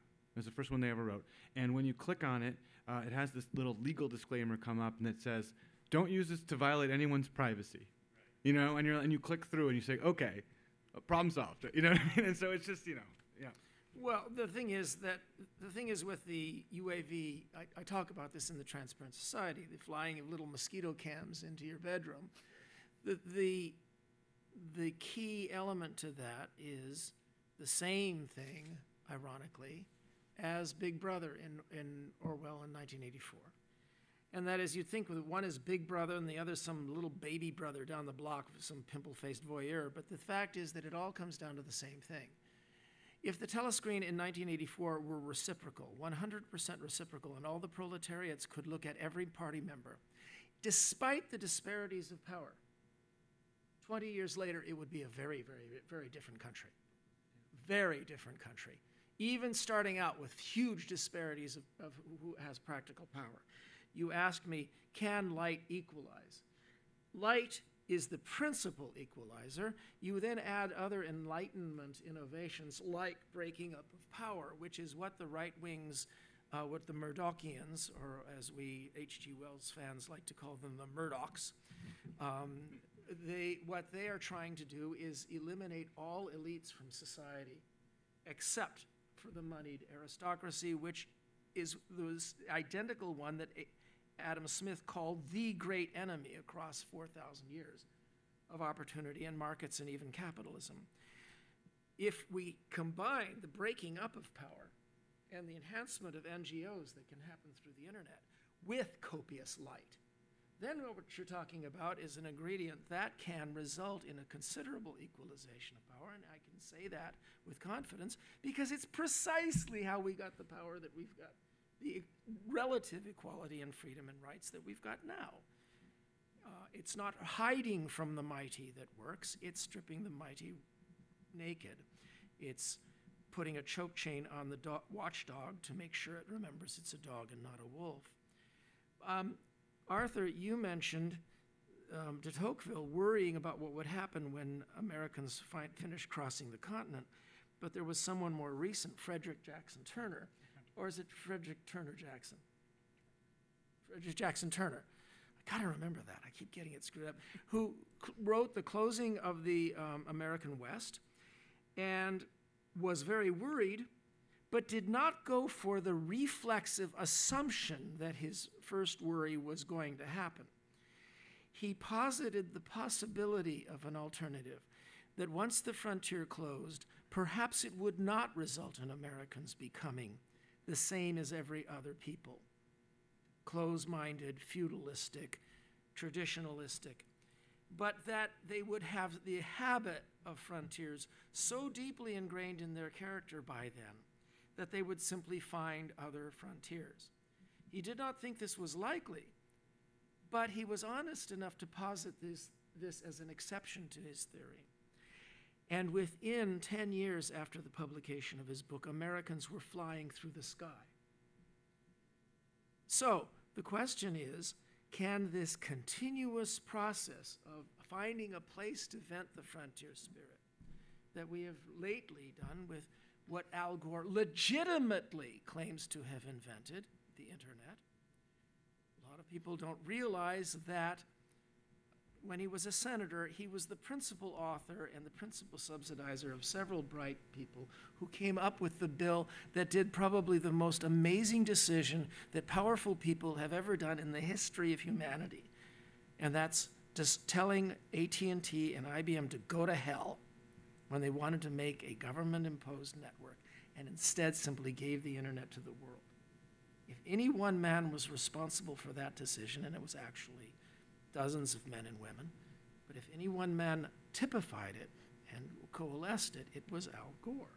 So Well, one of my problems with uh, frontier cultures, there's always an indigenous community at that edge, and they tend to be the sacrifice uh, of that frontier's expansion. Um, and it's not always the same uh, group. But uh, I'll There just stop that. there. Uh, was there somebody else? Questions? Mhm. I- Um, Say one. yeah, please, Arthur. There's a companion volume to Front, Turner's The Frontier, Thesis on the Frontier. And that would be a more recent book written by Michael Weinstein, which is called uh, The Wilderness and the City. It's a, a neglected text in American political culture. Wilderness City, the, which is a study of contemporary American moral philosophy, is an important text, particularly in its um, conclusion, where Weinstein develops a really interesting thesis that he says that the frontier thesis is based upon a form of subjectivity which has two polarities to it. It has a kind of violent war spirit, in spirit of conquering the wilderness in terms of a, a struggle to dominate on the one hand, and then it falls into acedia. It actually creates, creates again and again the Christian, what the Christians like to call acedia, which is a spirit of just being weary of the world itself. Boredom, tedium, sense of loss of energy, wanting a messiah to save the culture. And you and don't think there's a third one, which is the self-reinvention, the No. reinvention of the self? Yeah, if you let me finish, Go ahead, sorry. if you don't mind. Yeah. Yeah, because Weinstein's thesis is that the animating energy of the American technological personality is precisely lies between the two. He says what makes Americans different is Americans have transformed the principle of reversal of the poles of acedia and the war spirit, of the ones and the zero of metaphor and metonymy. There's lots of choose your discourse and you'll get the polarities, and have the courage and the creativity to ride the struggle in the middle itself. What he left out in that analysis, though, was exactly what Ricardo said, is the carnage and the exterminism of indigenous peoples itself, which is the beginning of a story, telling of another story itself. Yes.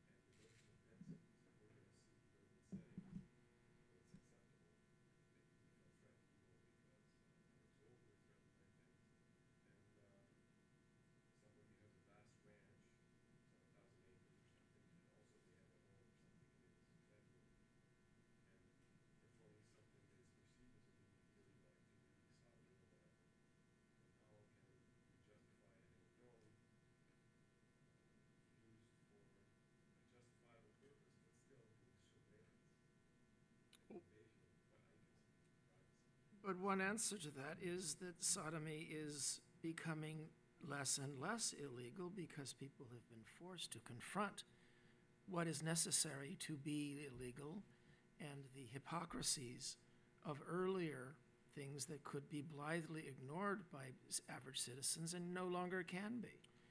I want to build on that answer too. I mean, I have a, um, a, a a paper that's called The Boundaries of Privacy Harm, where I articulate what I believe privacy harm is.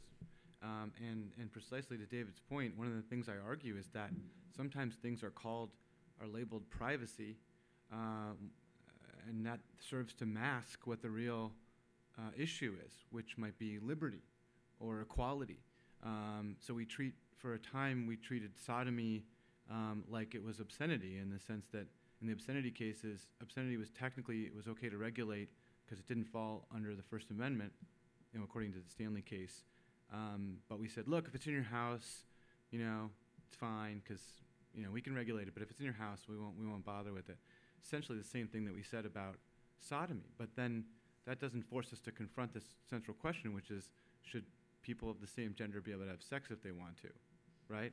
Um, and so I think it's really careful. You have to be really careful about figuring out what you mean by privacy harm, because if you call everything privacy, then it obscures things. And I, so to da- precisely David's point, I completely agree that one of the reasons that it's no longer able to support claims that sodomy should be illegal is precisely because we've gotten past that layer of, of just saying what's taking place in your home. And, and, No, but that's the very point. Mhm. That's the very point. And that is that as we get more eyes, as the eyes proliferate everywhere, we're going to choose between city A and city B. And in city A, we appear to have privacy because we've made illegal all the drones and all the prying eyes. And all that means is that, they, as Heinlein said, privacy laws simply make the spy bugs smaller. Never in human history has an elite ever been prevented from seeing as well as an elite could possibly see. Ever. And the result will be that elites of commerce, elites of wealth, elites of government, all, but they'll do it secretly. Or city B, in which we all embrace this and we all realize this is going on, and then we get, enter the world of reciprocity. And, the, and- if someone flies a little drone into your uh, bedroom, and is, is spying on you, some hobbyist in your neighborhood has the right latest scanner and knocks on your door and says, I've been doing a routine scan. You know, there are emanations coming from your house. Is this you? Is this yours? No, that's not mine. Well, then they follow it back to the pimple faced little schmuck's house and tell his mom. The point is that in theory, we should be able to do most of these things ourselves. Now, in practice, we're going to need governments, we're going to need NGOs, we're going to need that smart neighbor. But we should not be prevented from entering a regime in which mostly we are left alone and we still have some privacy in a world of cameras because it is more embarrassing to be caught violating our privacy than anything that we're likely to do. And the things that we're likely to do are mostly because our kids have invested in this, because they've shown so many embarrassing pictures on Facebook. It's like investing their 30 year old selves down the road with the obligation to have a tolerant society because I did something embarrassing online when I was 15. It's like they're almost viscerally, instinctively choosing to do this now. And it's an investment. And, and I don't know that it's going to work. But it's the only thing that can work because it works. You go to a restaurant, you sit in the restaurant, you are amidst a crowd of people who can see you and almost hear you. And yet, no one leans in and no one eavesdrops. Why? Because the opprobrium from being caught leaning in and eavesdropping is worse than anything they're likely to pick you up saying. It's a version of mutual assured destruction. It's reciprocity, it's competitive, and it is not the real reason why we were preached that we should behave well. We've been preached behave well because it's moral and ethical. And what works with human beings is I might get caught. Well, that's why uh, to create a binary between transparent um, ecologies and opaque economies is to, you know, constantly schizophrenically move back and forth within them and, and, and perhaps uh, be bound without a space of negotiation. So, in a certain sense, what is at play or what the gamble and risk is a translucent society in which aspects of opacity and transparency are negotiated in, in multiple ways. Um, and those negotiations aren't always um, uh, habitual. They have to be um, re-enunciated, uh, backtracked. Uh, sometimes the algorithm is to go sideways and or, or, or to hide. Uh, so I, I do think that uh, uh, with dronology, if we can accept that as a, as a switching point between these valencies, um, it, it might be that we have to negotiate something uh, in the liminal space between that transparency, um, even radical transparency, and the feudalism of opacity.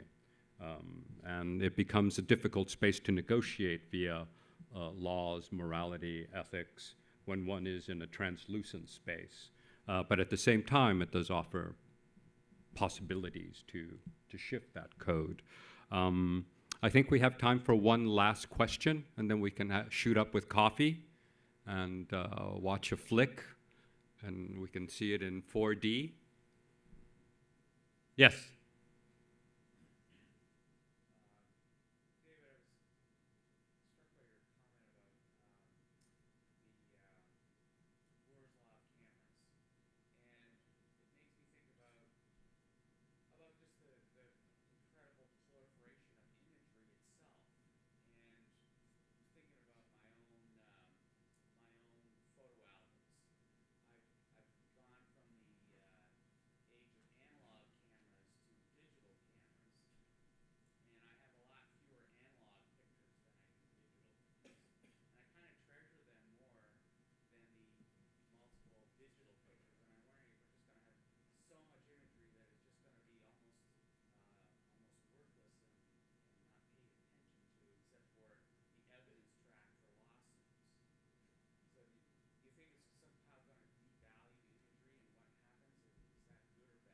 That sounds more like Arthur's territory than mine.